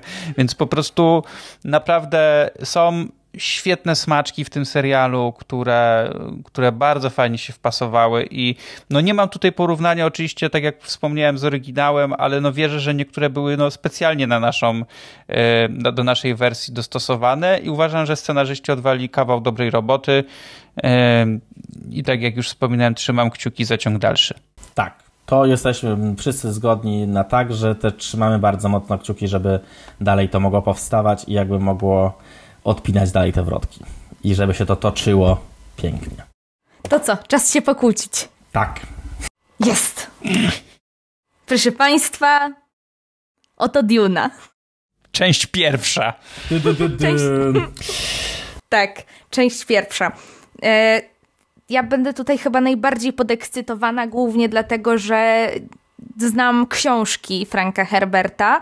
E, akurat powiem szczerze, że no po śmierci Herberta, e, po śmierci Franka Herberta, serię przejął jego syn Brian, z tym, że ja tych e, książek już dalszych nie czytałam. E, trochę dlatego, że mm, jak przeczytałam już kilka tych powieści z tej samej serii, to byłam po prostu zmęczona tematem i później jakoś nie wróciłam, więc nie wiem, czy są dobre, ale sama seria oryginalna jest, proszę Państwa, przecudowna, cacuszko. E, I cóż, no, przez wiele lat e, dostawaliśmy różnego rodzaju adaptacje e, tej książki.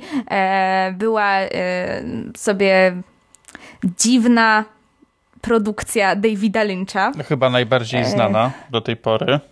Tak, dotąd najbardziej znana no, przez nazwisko Lyncha, czy przez, przez obsadę, no Sting był przecież, między innymi.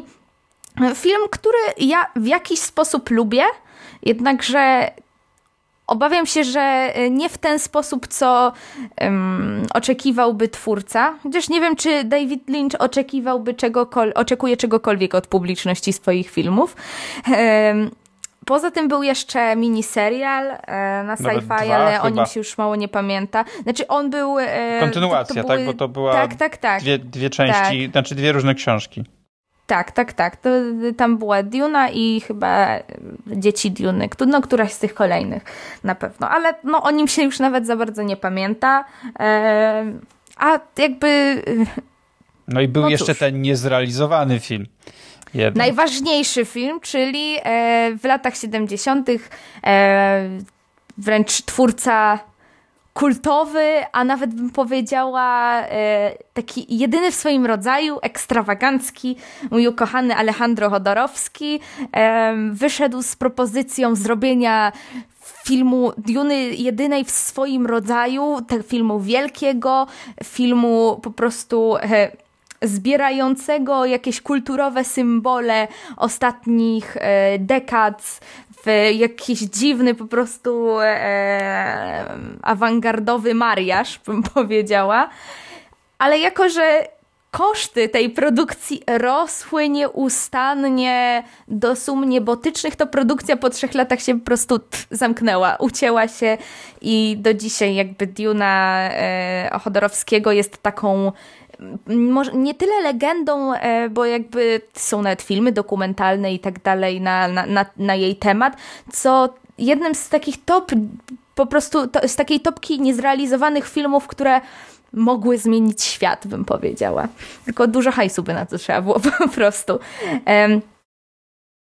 XXI wiek czy nawet, czy jakby ta dekada, bo ten serial e, sci-fi był już w XXI wieku, przyniósł nam e, kolejną adaptację, tym razem od, e, od Denis Villeneuve'a, e, reżysera takich filmów jak Sicario, czy Nowego Początku, o którym mamy e, w ogóle cały e, odcinek z retrospektywą jego filmów, więc bardzo polecam przesłuchać. I ja jakąś wielką fanką Villeneuve'a nie jestem. Jakby w tym odcinku, z tego co pamiętam, wypadam na większą fankę niż jestem, z tego względu, że omawialiśmy go tuż po Nolanie, a ja jak wiadomo za Nolanem nie przepadam, więc od razu Villeneuve na tym zyskał. Odcinek numer 90, ja się tylko przypomnę. Tak. E za, no, zanim przejdziemy do naszego, naszych tutaj wrażeń z produkcji Duny i jeszcze gdzieś tam szerzej powiemy o tym, e, kto w tym filmie się pojawia, kto przy nim e, robił mm, przy zdjęciach czy przy muzyce, to, to o czym właściwie jest ta seria? Mm. O melanżu. Tak. Badums. E, przypomniała mi się taka, taki był stary hit imprezowy, e, to na melanżu, to mhm. było na melanżu, tak? E, Zodiak na tak, melanżu. Tak, Monopol Zodiak, tak, tak, tak. E, I... Co też ważne, w polskim tłumaczeniu tego filmu nie pojawia się ta nazwa, w sensie w filmie nowym Tak, pojawia się przyprawa, 21, tak, tak, tak. tak. E, no to czym jest zatem ten melanż? Jakby Duna e, dzieje się w przyszłości, to jest rok tam 10 100 którymś, e, w którym ma, mamy takie, y, ma, mamy przede wszystkim, czym jest Duna, czym jest Arrakis. O, ma, mamy planetę Arrakis, inaczej zwaną Duną, która jest miejscem nie do życia, e, ale równocześnie jedynym źródłem melanżu, czyli takiej przyprawy, która zwiększa ludzkie możliwości, e, pozwala, że tak powiem, na doświadczenia wręcz, e, wręcz transgresyjne. O. I trudne do wyobrażenia sobie tak naprawdę w, w tym takim ludzkim świecie. E, Arrakis była dotąd e, przez 80 lat bodajże, e, była zarządzana przez ród Harkonnenów, e, którzy no, jakby mm, nie, by, nie byli władcami e, najbardziej łaskawymi, o, może tak, dla lokalnej ludności zwanej Fremenami, którzy e, w tej rzeczywistości, na tej planecie nie do życia, umieją jednak żyć ze względu na swoje, na to jak bardzo się przystosowali do tego, jak bardzo e, wie, wiele tutaj rzeczy po drodze osiągnęli, wiele rzeczy wprowadzili innowacji, e, a na tych innowacjach korzystają oczywiście e, Harkonnenowie, tak chyba będzie się odmieniać. e, Harkonnenowie, tak. Bo, i przez, mam czasami taki problem z odmienieniem tych nazwisk, e, ale tak. I mamy w, w tym czasie imperator, e, czy taka osoba stojąca gdzieś tam mm, na czele tego świata, e, oddaje władzę nad, e, jakby za pomocą dekretu, oddaje władzę nad Arrakis e, rodowi Atrydów. I na rodzie Atrydów skupiamy y, tak naprawdę swoją uwagę. Mamy naszego głównego bohatera, Pola, granego przez Timothy'ego Chalamet, który jest synem e, Lito, granego przez Oscara Isaaca, władcy e, głowy właściwie e, rodu Atrydów i Lady Jessica, mm, członkini jakby tak, matki Pola, konkubiny Leto i członkini takiego zakonu Ben Gesserit, który ma też, jak się okazuje, znaczenie e, tutaj dalej w fabule. Kiedy oni przejmują władzę nad Arrakis, to oczywiście, jak można się spodziewać, wzbudza to sprzeciw Harkonnenów, którzy jednak chcą odzyskać planetę, która daje substancję e, wręcz kluczową, e, może nie tyle nawet kluczową dla e, funkcjonowania, co niesamowicie atrakcyjną.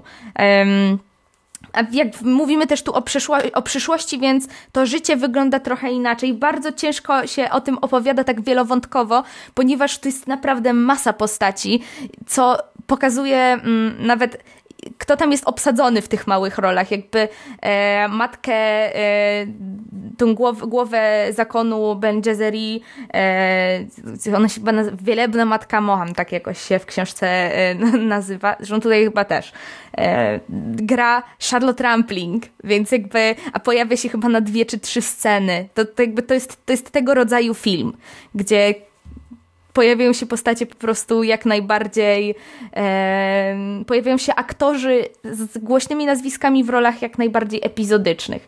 E, więc skoro skończyłam już ten przydługi wstęp do fabuły, to mogę wreszcie powiedzieć, że mnie się ta nowa Duna bardzo ale to bardzo podobała. Wręcz jestem zaskoczona, że to tak dobrze wyszło, bo po żadnym z nazwisk w tym filmie nie spodziewałam się czegoś tak dobrze, y, czegoś tak dobrze oddającego klimat tej książki. Jakby wciąż wolałabym dostać odjechaną narkotyczny, odjechany narkotyczny typ Chodorowskiego, ale ta bardziej komercyjna wersja Wielenewa jest bardzo dla mnie zadowalająca. Teraz mogę oddać głos któremuś z Was. Boże, przepraszam, ale ja jak mam jakiś temat, który mnie pasjonuje, to naprawdę się potrafię rozgadać. Yy, Michał, jeśli chcesz, to, to, to śmiało. Dobrze, to, to ja jeszcze pokontuję ten wątek zachwytów, a potem dojdziemy do kłótni, to wyjdziemy naturalnie w zasadzie. um, tak, no więc e, ja się odbijając z tego, co Julia powiedziała, no to ja, ja akurat do świata Duny wchodziłem z, jakby bez żadnych oczekiwań, um, w tym kontekście, że jakby ja nie znam książki, nie widziałem poprzedniej części, znaczy nie poprzedniej części, w sensie tej poprzedniej adaptacji, w ogóle poprzednich adaptacji jako takich, e, jakby tylko gdzieś z tyłu umysłu jakby wiedziałem, że ta seria istnieje, ale jakby nic dalej z tym e, jakby, jakby nie, nie sobie nie robiłem. E, do tego, czy dalej nic sobie nie robię, to zaraz przejdziemy. Ale tak, jakby chodzi mi o to, że jakby ja mam trochę inne podejście niż Julia, w sensie takim, że jakby zupełnie e, bez jakichkolwiek oczekiwań względem tego tematu, ponieważ jakby ta historia była mi zupełnie nieznana.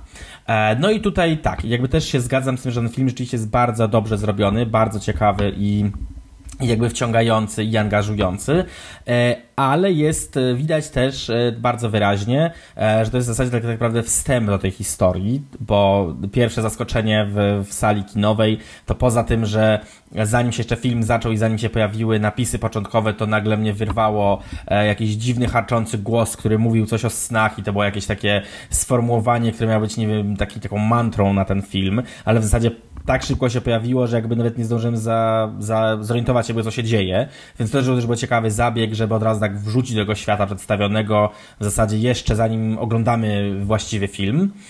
No a druga rzecz, druga rzecz jest taka, że jak bardzo to jest, jak bardzo jest ten wstęp, no to tak naprawdę ten, ten film trwa 2,5 godziny, z czego mi się zaczął tak podobać, podobać, żeby rzeczywiście mieć jakby fan z oglądania, mniej więcej po godzinie, bo, bo pierwsza godzina to jest po prostu tak tak bardzo wprowadzająca, y, co się dzieje, że no w ciągu godziny słyszymy 77 nazw e, i musimy się zorientować w ogóle w sytuacji, której zupełnie nie znamy, tak? No taki world building, wiadomo, że jakby musi być. Bardzo też szanuję za to, że, że Villeneuve tutaj starał się w bardzo organiczny sposób wprowadzać te nowe elementy. E, nie ma na przykład, e, nie wiem, napisów początkowych, które by jakby mówiły, w jakim świecie się znajdujemy. Bardzo mało jest na przykład narracji Zofu, znaczy ona się pojawia, ale w bardzo konkretnym celu i jakby nie tylko takim wprowadzającym, tylko dodającym elementy e, świata przedstawionego, bo jest jakby elementem na przykład snu bohatera. E, podoba mi się na przykład to, że bohaterowie tutaj, e, e nasz główny bohater Paul jakby sam ogląda film dokumentalny o tym, jak wygląda życie na Arrakis, więc jakby my razem z nim pozna, poznajemy nową wiedzę i też mi się bardzo podoba, to jest akurat super, bo to się nieczęsto zdarza w filmach, że kiedy jest tego rodzaju ekspozycja, to tak naprawdę te informacje, które bohater się dowiedział, naprawdę wykorzystuje wielu filmach, które jakby robią podobny rodzaj ekspozycji, podobny rodzaj wprowadzenia, y, często są się okazuje, że informacje, które były nam podane, jakby nie są tak bezpośrednio wykorzystane. Tutaj jest super, bo jest scena, w której jakby on się uczy czegoś i jakby dokładnie dostajemy scenę, w której jakby wykorzystuje tą wiedzę.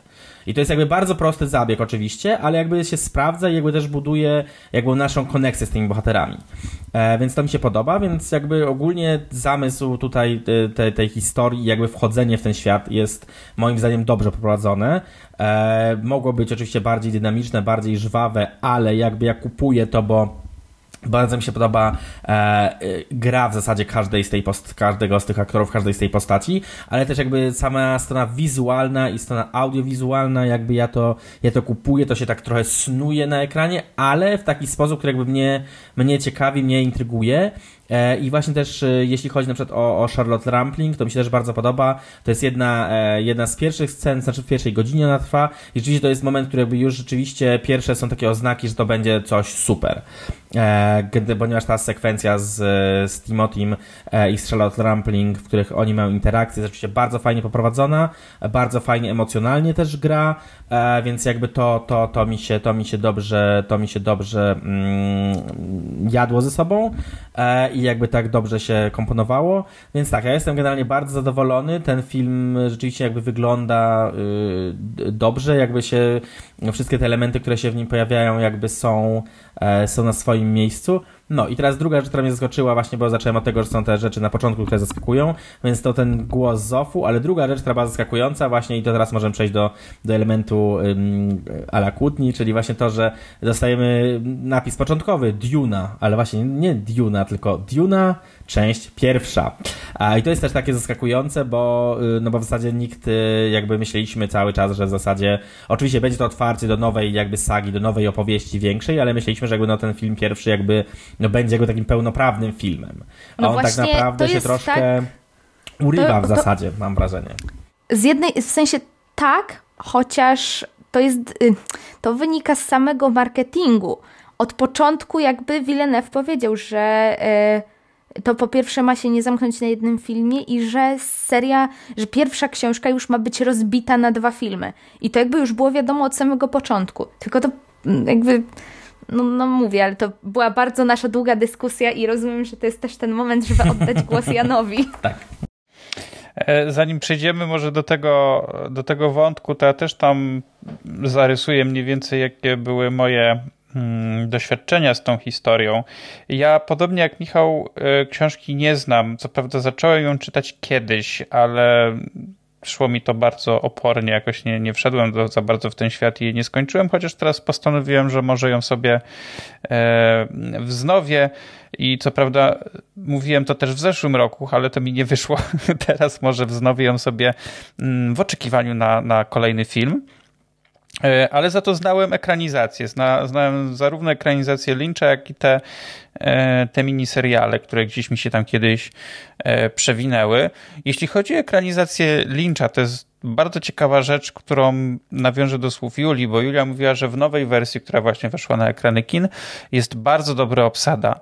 I warto spojrzeć na obsadę filmu Lyncha, bo kiedy zobaczymy, jakie tam są nazwiska z perspektywy tej połowy lat 80., to mamy praktycznie bardzo podobną sytuację. No tam są same takie, wiesz, wiecie, najgorętsze nazwiska filmowe, jakie w tamtym czasie były, no bo jest nawet e, Patrick Stewart, jest, jest Linda Hunt, jest Brad e, Dourif, e, Kyle McCallaghan, tak? Więc jakby jest bardzo dużo takich gorących nazwisk, które na tamten czas były, podobnie jak to ma miejsce w tej nowej, aktualnej wersji. I moje, moje oczekiwania co do tego filmu były takie, że po prostu chciałem dostać e, ciekawą historię, ciekawie zrealizowaną. E, wiem na co stać tego reżysera, wiem jakie filmy robi i jakby moje oczekiwania były związane bardziej z twórcą i z aktorami niż z samą historią, bo nie jestem z nią w żaden sposób e, emocjonalnie związany.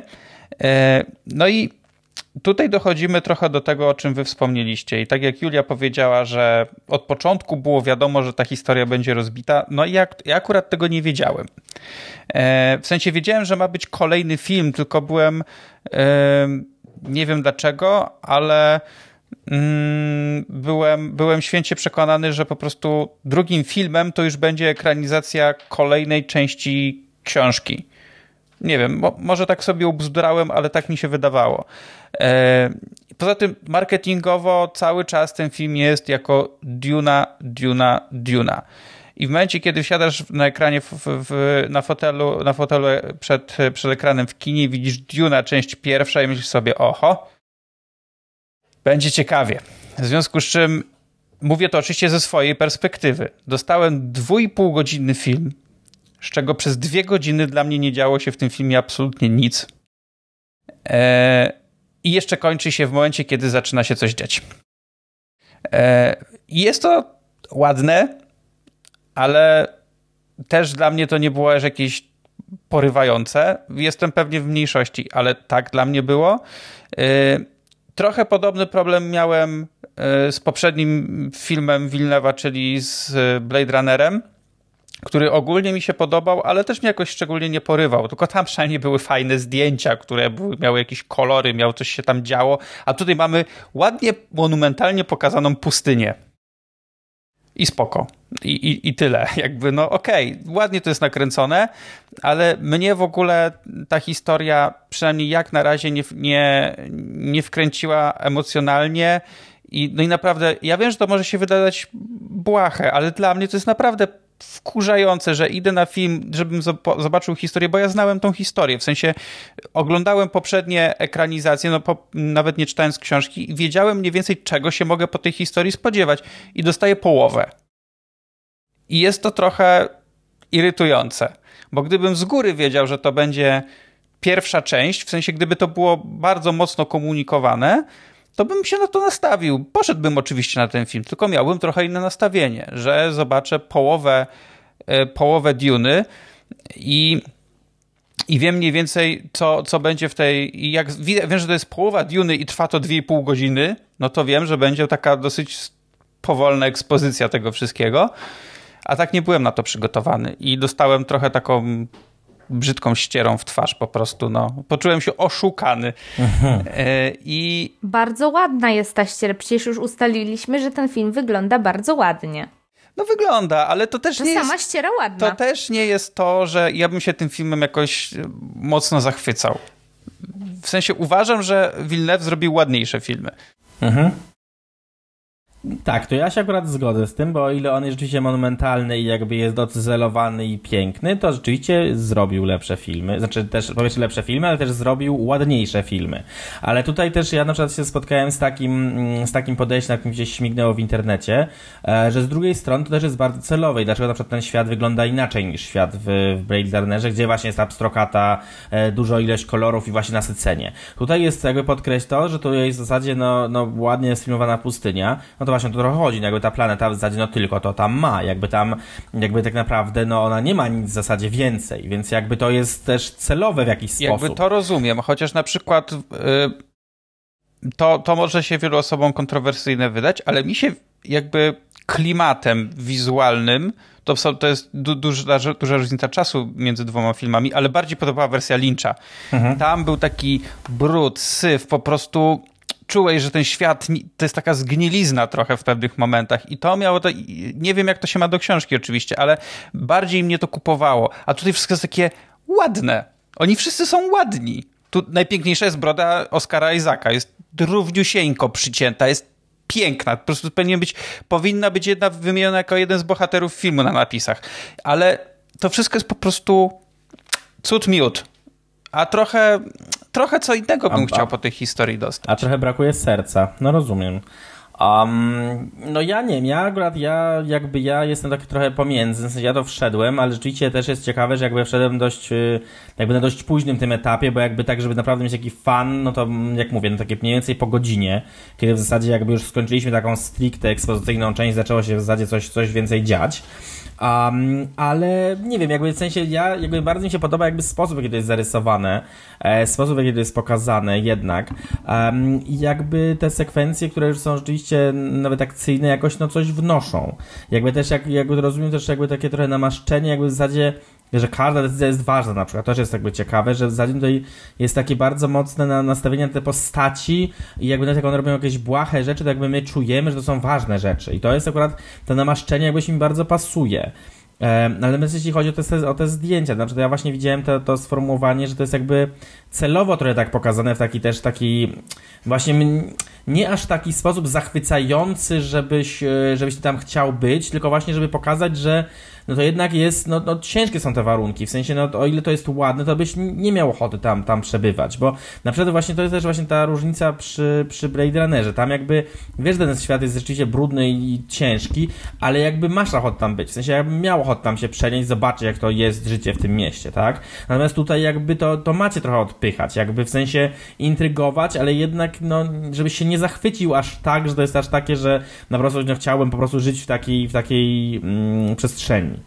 Nie wiem, jak to określić do końca, ale jakby no... Czy ja rozumiem, czuję, ja rozumiem jest... o co ci chodzi czuję jakby to jest też tak by y, celowe. No to, co jeśli chodzi, jeszcze jedną rzecz, która chcę powiedzieć o zdjęciach, akurat to mi się mega podobało, to, że jak bardzo, jak bardzo tam detale są y, uwypuklone, bo mhm. właśnie ten cały film jest właśnie z tak dużym namaszczeniem, że tak naprawdę też jest super pokazane, że wszystkie te stroje e, i jego wygląd jakby mm, pomieszczeń jest jakby super właśnie znowu docelowany i taki jakby ma sens. Na przykład mi się bardzo podobała sekwencja, e, która w zasadzie mogłoby jej nie być, bo ona teoretycznie nic nie wnosi, ale właśnie wnosi to, że my wiemy skąd w zasadzie te stroje wyglądają jak wyglądają. Jest taka scena z takim stworkiem, który wygląda jak myszoskoczek i my widzimy jakby jak on y, pobiera wodę ze swojego organizmu. I to jest potem, potem coś, co właśnie w tych strojach jakby oni wykorzystują, żeby też pobierać wodę z własnych organizmów. Więc chodzi, że jest mega fajnie pokazane jakby jakby sama świadomość jakby twórców, że bohaterowie są świadomi o otaczającej ich rzeczywistości i jakby skąd wynika taki, a nie inny wygląd tych, tych rzeczy e, i jakby mechanizmy działające za tym. Więc to jest dla mnie super, że ten film właśnie jest na tyle jakby powolny, że możemy się skupić na tych elementach i zobaczyć jakby jak bardzo to ma sens, jak bardzo ten świat jest żywy, realny i namacalny. Więc to mi się podoba, że jakby oczywiście no y, trzeba się właśnie, jakby już wiesz o tym, że to jest powolne i jakby będzie wprowadzają te reguły, no dość statecznie, tak jakby możesz po prostu napawać tym, jakby jak dobrze to jest skonstruowane i jakby jak dobrze to wszystko ze sobą się jakby zazębia, tak? I mimo tego, że poznajemy właśnie 77 nazwisk w ciągu godziny, to potem jakby y, rozumiemy wszystkie te koneksje między tymi bohaterami, bo y, tak naprawdę też jest super element, że jest poziom ten taki wysoki, jakby tego właśnie tutaj władzy nad, nad wszechświatem, powiedzmy, ale tak naprawdę to ty to rozpatrujesz z z punktu widzenia każdej z tych pojedynczych jednostek, bo każda z tych jednostek jest jakaś. To też jest super, że oni jakby nie giną w tej takiej monumentalności tej historii, tylko jakby każdy z nich jest no, no jakiś konkretny. I na przykład w tym wypadku też, jeśli chodzi o aktorstwo, ja też jestem, i to pewnie Julia zaraz też powie więcej, ja jestem na przykład zachwycony tym, że wreszcie Timothy Chalamet gra właśnie coś innego. Ma coś innego do zagrania i jakby robi coś innego ze swoją postacią. Okej. Okay. E, e, ja się tylko, zanim ci zaś ci e, oddam głos, tylko chciałem jeszcze powiedzieć jedną rzecz, że mm, jakby rozumiem, co mówisz, Michał, i z wieloma rzeczami. No po polsku w końcu, no to. To, że mówimy tym samym językiem, nie znaczy, że się rozumiemy. Mm. O, ale górnolotnie poleciało. I jakby... Trochę w klimacie Duny. Z tak. wieloma, rzeczami, z wieloma rzeczami nawet się mogę zgodzić. Tylko tak jakby patrząc trochę całościowo jeszcze na ten film, ja mam, ja mam takie poczucie, że on został zrobiony tak trochę wiem, zbyt bezpiecznie. W sensie brakuje mi jakiegoś takie szaleństwa trochę. Mam, mam poczucie, że można było tu trochę z czymś pojechać, właśnie z jakąś psychodelą może trochę większą, czy, czy, czy coś w tym rodzaju. E, no w końcu, kurde, wdychałem jakieś piaskowe LSD non-stop, więc jakby można było coś z tym poszaleć. Może to będzie później, nie wiem. E, ale takich taki, taki rzeczy mi trochę tutaj zabrakło. Mm, a jeszcze tylko jedną rzecz się odniosę do, tej, do tych rzeczy marketingowych. My sobie o tym tam jeszcze przed nagraniem rozmawialiśmy, że e, jakby w, trochę, trochę mnie irytuje ten zabieg y, raz, że to, że nie powinni mówili, że nie komunikowali, że to jest pierwsza część, to to, że jakby w zasadzie dopiero chyba dzień czy dwa dni przed premierą został klepnięty, że w ogóle ten drugi film faktycznie powstanie. E, I teraz w teorii przy dobrych wiatrach musimy czekać na ten film, no myślę, że przynajmniej za dwa lata. No a jaka będzie sytuacja na świecie związana przede wszystkim z pandemią, tego nie wiemy, więc możemy równie dobrze ten film zacząć za 5 lat. Więc tak naprawdę wiesz, zobaczyłeś film, który się urywa w połowie i okej, okay, i czekamy. A gdyby na przykład nakręcili ten film od razu, dwie części, e, w sensie jako jeden film podzielili go na dwa i powiedzieli, dobra, teraz dajemy wam pierwszą, druga wchodzi za rok, czy tam za pół roku, czy nawet za półtora, tak jak było, nie wiem, z Avengersami, e, z Władcą Pierścieni, jeszcze z wieloma innymi e, seriami, to bym, to okej, okay, no spoko, to czekamy sobie. A tak to i klops. I... Nie no, poczekamy te kilka lat i będziemy oglądać drugą część, no i co? No, no tak.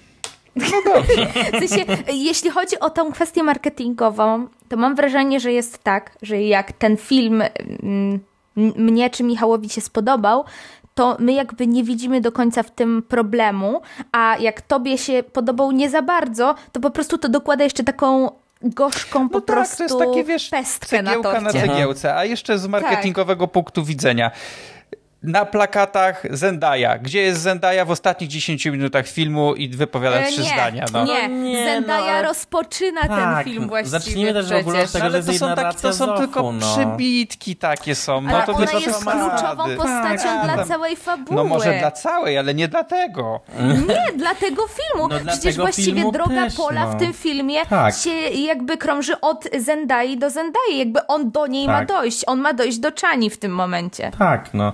Ja też tak to czuję, bo też jest właśnie akurat taka, o tym ja mówiłem, że tutaj właśnie jest fajne, że nie ma i napisów, i nie ma y, głosu Zofu. To tak, pojawia się głos Zofu w postaci Zendai na początku filmu, właśnie jako wizja jego scenna i to ma mega duże znaczenie. I jakby ja na przykład nie mam tego poczucia, w sensie ja widziałem, że tam jest napisane, że ona ma 7 minut w filmie, przez cały film, ale dla mnie ona jest, jakby jej duch jest tam widoczny i mi to nie przeszkadza tak. i jakby ja, ja się, jakby mnie to nie gryzie. Znaczy ja rozumiem o co ci chodzi, tak, ona jest na każdym plakacie, ona jest też na każdym, każdym wywiadzie z Timothy, jakby oni są we dwójkę. No ale tak, on tak się teraz jakby promuje filmy też, ale rozumiem o co ci chodzi, ale to nie jest jakby, to nie jest akurat wina tego filmu. W sensie jakby to nie jest tak, że e, no też jest jakby też kwestia jakby no, jakby twoje oczekiwania jakby no nie nie wiem jak to określić, znaczy w sensie jakby no to, to nie jest wina Villeneuve'a, że tak to zrobił, bo jakby to ma sens w tym filmie i jakby to tak. jakby fabularnie się zgadza i fabularnie mhm. jakby ma to przejście. I jakby na przykład ja też nie mam poczucia, że jest jej za mało. Tam ona jest dla mnie idealnej ilości mhm. i ona tak naprawdę się pojawia co 15 minut na scenkę.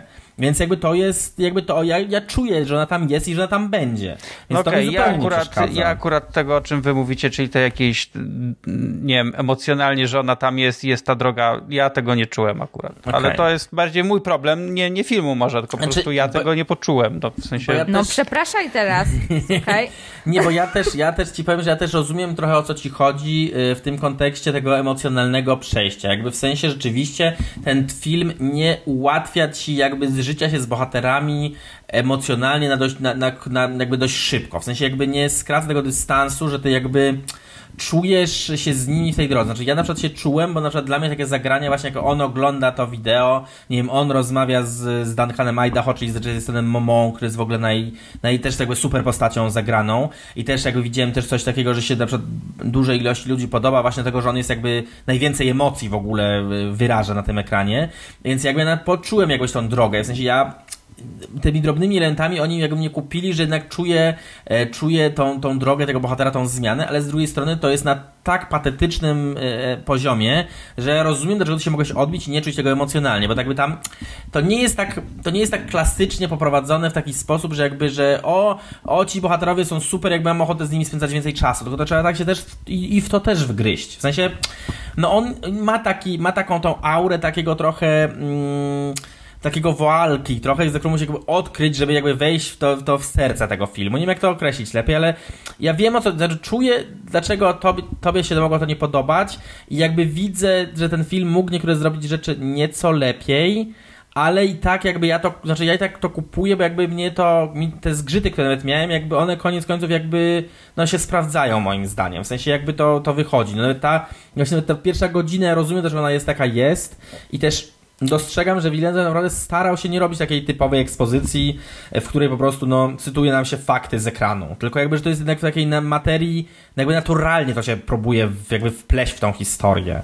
Tak, a no, trzeba przyznać, że ten świat Dune jest naprawdę pełen jakichś różnych instytucji, zawirowań, a mam wrażenie, że Villeneuve chciał jednak zrobić film w tym takim swoim stylu, chociaż Villeneuve bardzo lubi mieszać filmy, w, mieszać w fabule swoich filmów, czasami je przez to y, niszczy, mm, ale o tym to w odcinku 90. Y, e, ale naprawdę, ja tutaj bardzo na mnie to emocjonalnie działało, z tym, że no właśnie dobrze, że mm, ty Michał mówisz z takiej pozycji e, fajnie, że mamy Jana, który, któremu się tym razem nie podobało, a zna jakby poprzednie filmy, że mnie, której się bardzo podobało i znam no w ogóle jakby wszystko z serii i że mamy ciebie, któremu się podobało, a jakby jakby no nie miałeś wcześniej styczności, bo ja się trochę zastanawiałam mm, przed podcastem, i przed jeszcze usłyszeniem Waszych opinii,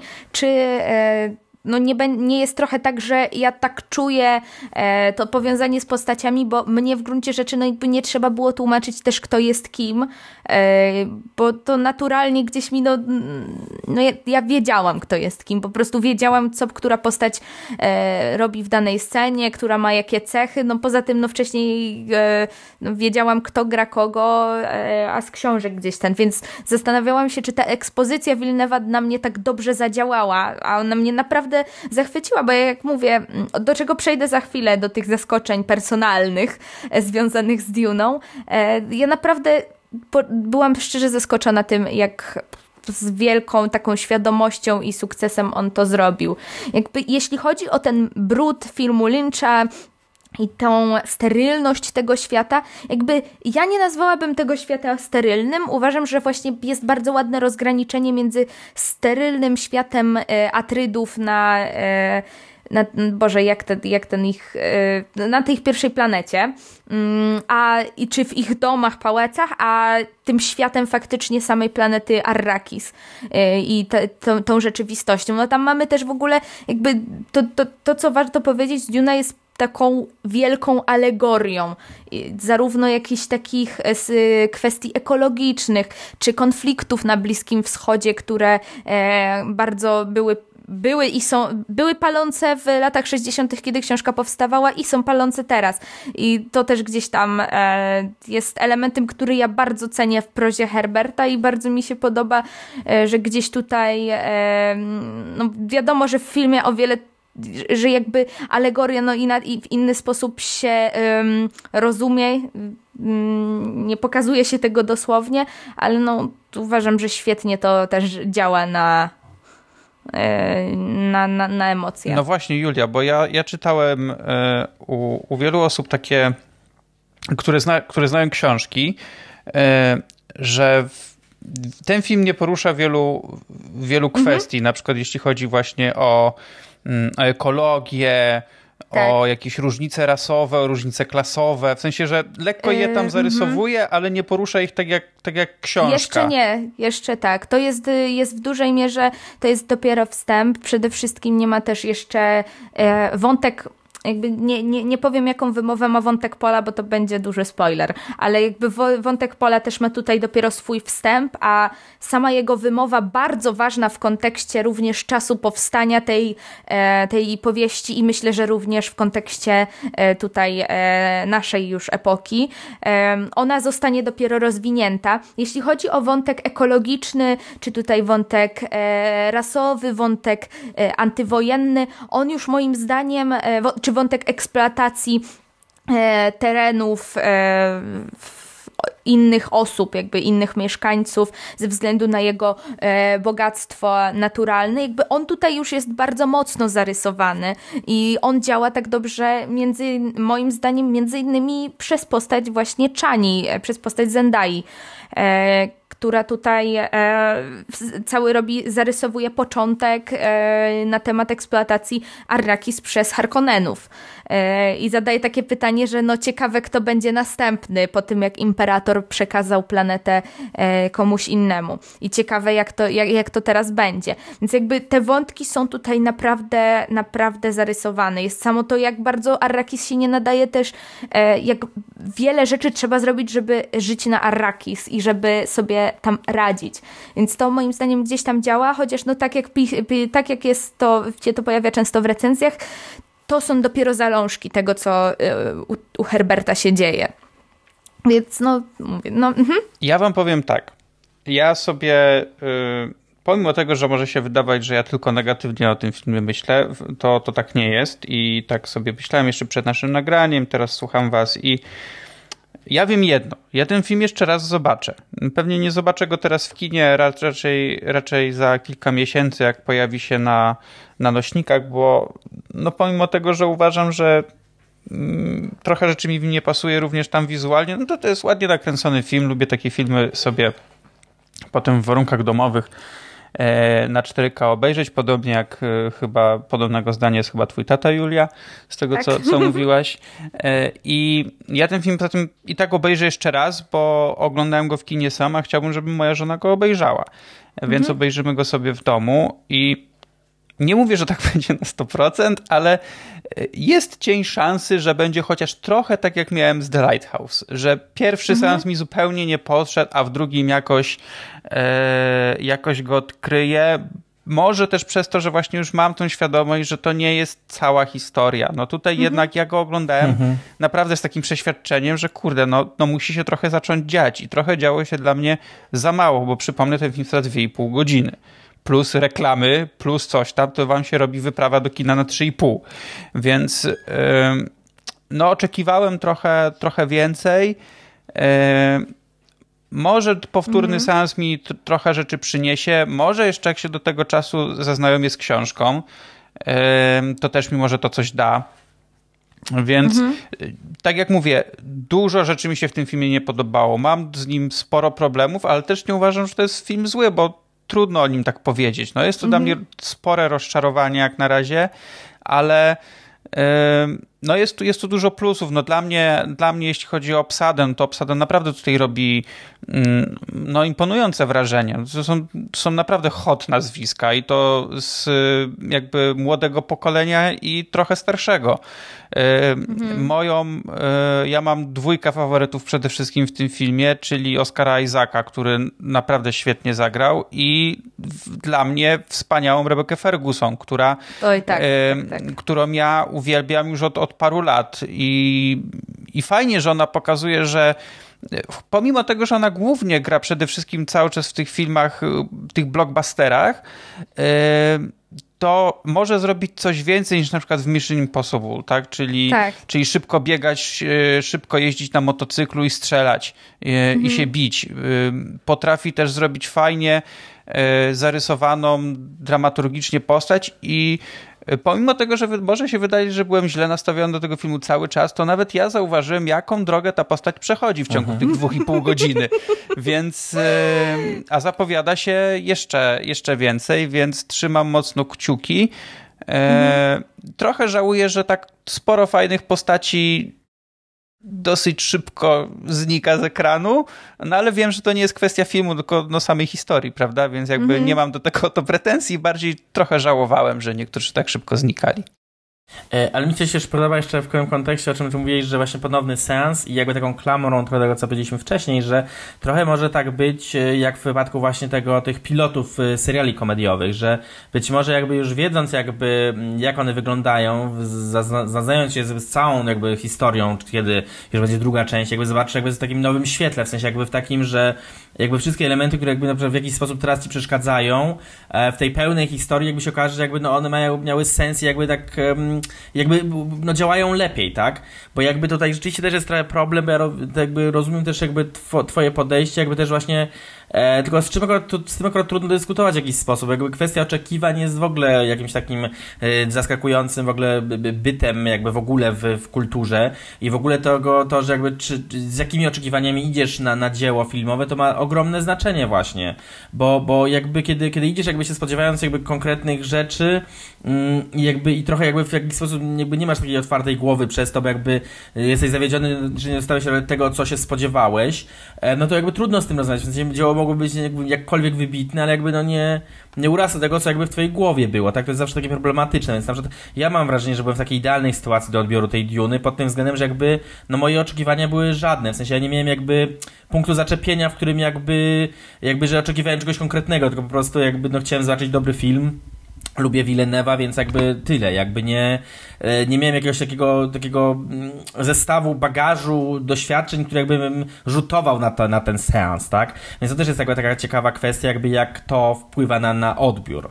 Um, no, ale właśnie tak, tą, tą, tą klamrą właśnie z tym, że, że być może właśnie jak z tymi pilotami, że no, że potem jakby w późniejszym czasie, kiedy jakby dostaniemy już więcej tych filmów i tak dalej, to jakby też jakby z innej perspektywy na to zerkniesz, tak? Że jakby nagle zupełnie inaczej to zaczniesz mm, eksplorować w jakiś sposób. I tutaj powraca wątek, z którego się ostatnio trochę naśmiewaliście, czyli dlaczego ja lubię powtórnie oglądać filmy. E, ale właśnie dlaczego my się naśmiewamy z tego wątku? Bo y, powtórne oglądanie, jakby ja uwielbiam powtórnie oglądać filmy, ale y, właśnie jakby te, te, te, te filmy, które, za każdy, które właśnie jak ty wyrzucasz, że oglądasz, e, to są za każdym razem takie cudowne skarby lat y, 90., takie wręcz symbole swojej epoki. No mają taki fajny, taki nostalgiczny sznyt i to jest takie bardziej urocze. My się naśmiewamy oczywiście z, y, y, z uroku tego. Z sercem. Mam, mam taką Ser nadzieję. Tak, z sercem. Tak, tak, I jakby tak, idąc, idąc drugą klamrą, tak jak w The Office oni się śmieją, jakby też z takim e, podejściem jakby właśnie nie prześmiewczym, tylko takim jakby no spójrzcie, no tacy jesteśmy trochę, no jakby, że jakby się razem z tobą...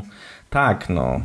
Dobra, bo jakby... ja tam muszę jeszcze powiedzieć y, kilka rzeczy do tych ludzi, do których tak na, mów, na których bo... tak na, na, napieprzałam przez cały podcast. To mów, bo mieliśmy godzinkę tutaj, a tu proszę. Tak, to ostatnie kilka zdań. Hans Zimmer. Hans Zimmer zrobił dobry soundtrack, a nawet zarąbisty soundtrack, czego co nie zdarzyło mu się od Nie, no zrobił już dawno. drugi dobry soundtrack w tym roku, no. To do Bonda też zrobił pierwszy. dobry soundtrack. O mój, no ten do Bonda soundtrack jest jakby taki no... Bon, bondowski. Okej, okay, no. no, no, no, no nic, nic wyjątkowego, nic tam. I no, no, jakby nie, on, nie, że, nie, że Hans Zimmer robił jakieś, znaczy zrobił kilka tam takich e, rzeczy, które mi się mało podobały, ale nie, że one były tragiczne, jakby one za każdym razem były takie ok, ale kiedy mówimy o jednym z kompozytorów muzyki filmowej, który, którzy są takimi nazwiskami ikonami, nazwiskami markami, to po prostu było to moim zdaniem poniżej jego jakichkolwiek możliwości. I dopiero w Dune od czasów Mm, oj, nie pamiętam już nawet kiedy. Mm, czy ja nawet lubię soundtrack do Interstellar po tych kilku latach, powiem szczerze. E, po, po, po, ostatnim osłuchaniu się tro, trochę go polubiłam, więc załóżmy, że od tych no mniej więcej 7-8 lat e, zrobił coś takiego faktycznie wow. Mm, kolejny Timothy Chalamet e, wreszcie odkupił się po tych swoich Beautiful Boyach i innych filmach, w których grał, znowu powtarzał e, jedną i tę samą rolę. Powiedziałabym, że rolę Elio w Tamtych Dniach, Tamtych Nocach, ale jak się obejrzy poprzednie filmy Timothy'ego Chalamet, to to jest ta sama rola, co, co w Tamtych Dniach, Tamtych Nocach, więc jakby e, wreszcie coś jeszcze innego i coś dającego mu więcej przestrzeni. Jakby ja wciąż mówię, jak, jako, yy, znając książki, czekam na kolejne filmy, bo tam może się dopiero zadziać, tam się zadzieją, tam, tam będzie spełnienie moich marzeń. Spełnienie moich marzeń, jeśli chodzi o, o, o, te, o tego aktora, ale te, w sensie ja się dlatego tak cieszę, bo teraz mi trochę lżej czekać na e, tego nowego e, Andersona. Mm, bo jednak e, tak to, to miałam, że tak powiem, bardzo taki ciężar na sercu. No i ostatni punkt zaskoczenia to jest y, w którego ja przyznam szczerze nie wierzyłam aż tak, jeśli chodzi o otworzenie Duny jakby mówię, to jest wciąż najbezpieczniejsza e, wersja, jaką mogliśmy dostać, ale jest to najlepsza, najbezpieczniejsza wersja, jaką mogliśmy dostać. I ja tutaj bardzo e, pana Deni szanuję. Szacuneczek na dzielni. Myślę, myślę, że gdyby e, w ten film został zaangażowany Roger Dickens, to spodobałby mi się bardziej. Tak. Myślę, że Ale tak. Greg Fraser zrobił bardzo ładne zdjęcie. Tak, ale jakby rzeczywiście nie mają takiego, aż takiego tego sznytu, które tam, tam u Dickinsa widać jakoś mocniej. Ale też no inny trochę rodzaj, e, inny trochę rodzaj obiektów miał do, do filmowania, więc... Mm. Ale tak, no ja, y, ja jestem jakby bardzo pozytywnie nastawiony. E, jakby mm, no trochę miałem ten przytyczek rzeczywiście, że część pierwsza i że się trochę nie kończy, ale właśnie tym bardziej e, jakby mam ochotę na więcej. Mam nadzieję, że, coraz, że więcej osób będzie miało ochotę na więcej. I jakby w tym kontekście właśnie, że, że nie znam marki i tak dalej, no to jakby ja na przykład właśnie po tym filmie e, jakby z chęcią sięgnąłem po książkę i jakby zacząłem czytać, dopiero na razie tam pierwsze strony jestem po, ale jakby czuję, że jakby chcę rzeczywiście wejść w tą historię mocniej, więc jakby to też jest jakby ogromna jakby mm, zasługa tego filmu, że on na tyle jakby buduje ten świat w sposób ciekawy, że jakby mamy ochotę w nim jeszcze, jeszcze przebywać dłużej. E, i tak tam, tak tam samo też e, przed odcinkiem jeszcze nie zdążyłem, ale też w zasadzie planuję zobaczyć jakby co tam, co tam nawyczyniał Lynch. Jakby wiem, że jest to, to gorszy film i tak dalej, ale jakby no ciekawi mnie po prostu na tyle, że, że ten świat jakby w ogóle zobaczyć jakby co tam można zrobić yy, inaczej w nim. Więc jakby to jest też właśnie spoko, że, yy, że właśnie ta nowa adaptacja jakby no budzi też zainteresowanie po poprzednimi wersjami i oryginałem, więc to też jest jakby no z mojej perspektywy jakby dobre, dobrze wykonana robota, że, że jakby nie mamy takiego poczucia, że już wiemy wszystko i jakby okej, okay, to e, widziałem się Manara, jakby film odhaczony i już zapominam. Tylko jakby rzeczywiście będzie siedzieć we mnie, jakby trochę, e, trochę jakby mam ochotę jakby dalej poprzebywać tej, tej atmosferze w tym świecie, jak już padło, więc y, no. No i przy okazji też fakt, że znowu mamy długi odcinek y, i jakby mamy dużo wątków, w których rozmawiamy, więc to też jest zawsze, zawsze dobra rzecz, kiedy kino, kino tak potrafi oddziaływać w różnorodny sposób. To ja tylko domknę tym, że mimo wielu rzeczy też czekam na, na kontynuację, bo chcę ją zobaczyć, chcę zobaczyć, czy w końcu zaczną się dziać rzeczy. E, wierzę, że zaczną i że fa, fajnie, fajnie to zrobią, więc e, no nie mówię, nie idźcie do kina, bo, bo wiem, że z moimi pewnymi rzeczami jestem w mniejszości i raczej większości ludziom się ten film spodoba, e, więc, więc idźcie po prostu. Żałuję tylko, że nie ma dobrze rozpowszechnionej y, kopii IMAX 2D, bo niestety w IMAXie ten film leci przede wszystkim w 3D. Nie wiem, kto w 2021 roku robi filmy w 3D, nie wiem, co im strzeliło do łba z tym pomysłem, ale okej. Okay. No, zwłaszcza, że to w ogóle jest jeszcze nawet nie kręcone w 3D, tylko jest ta konwersja, więc już w ogóle no to jest właśnie, taki, to jest takie 2011 Welcome to y, i a propos, a propos Welcome to i tak ludzie nie mówią. No nie wiem, kto y, jeszcze w 2021 ogląda filmy w IMAX, robi filmy w IMAX. Jakby, wiecie co? Nie.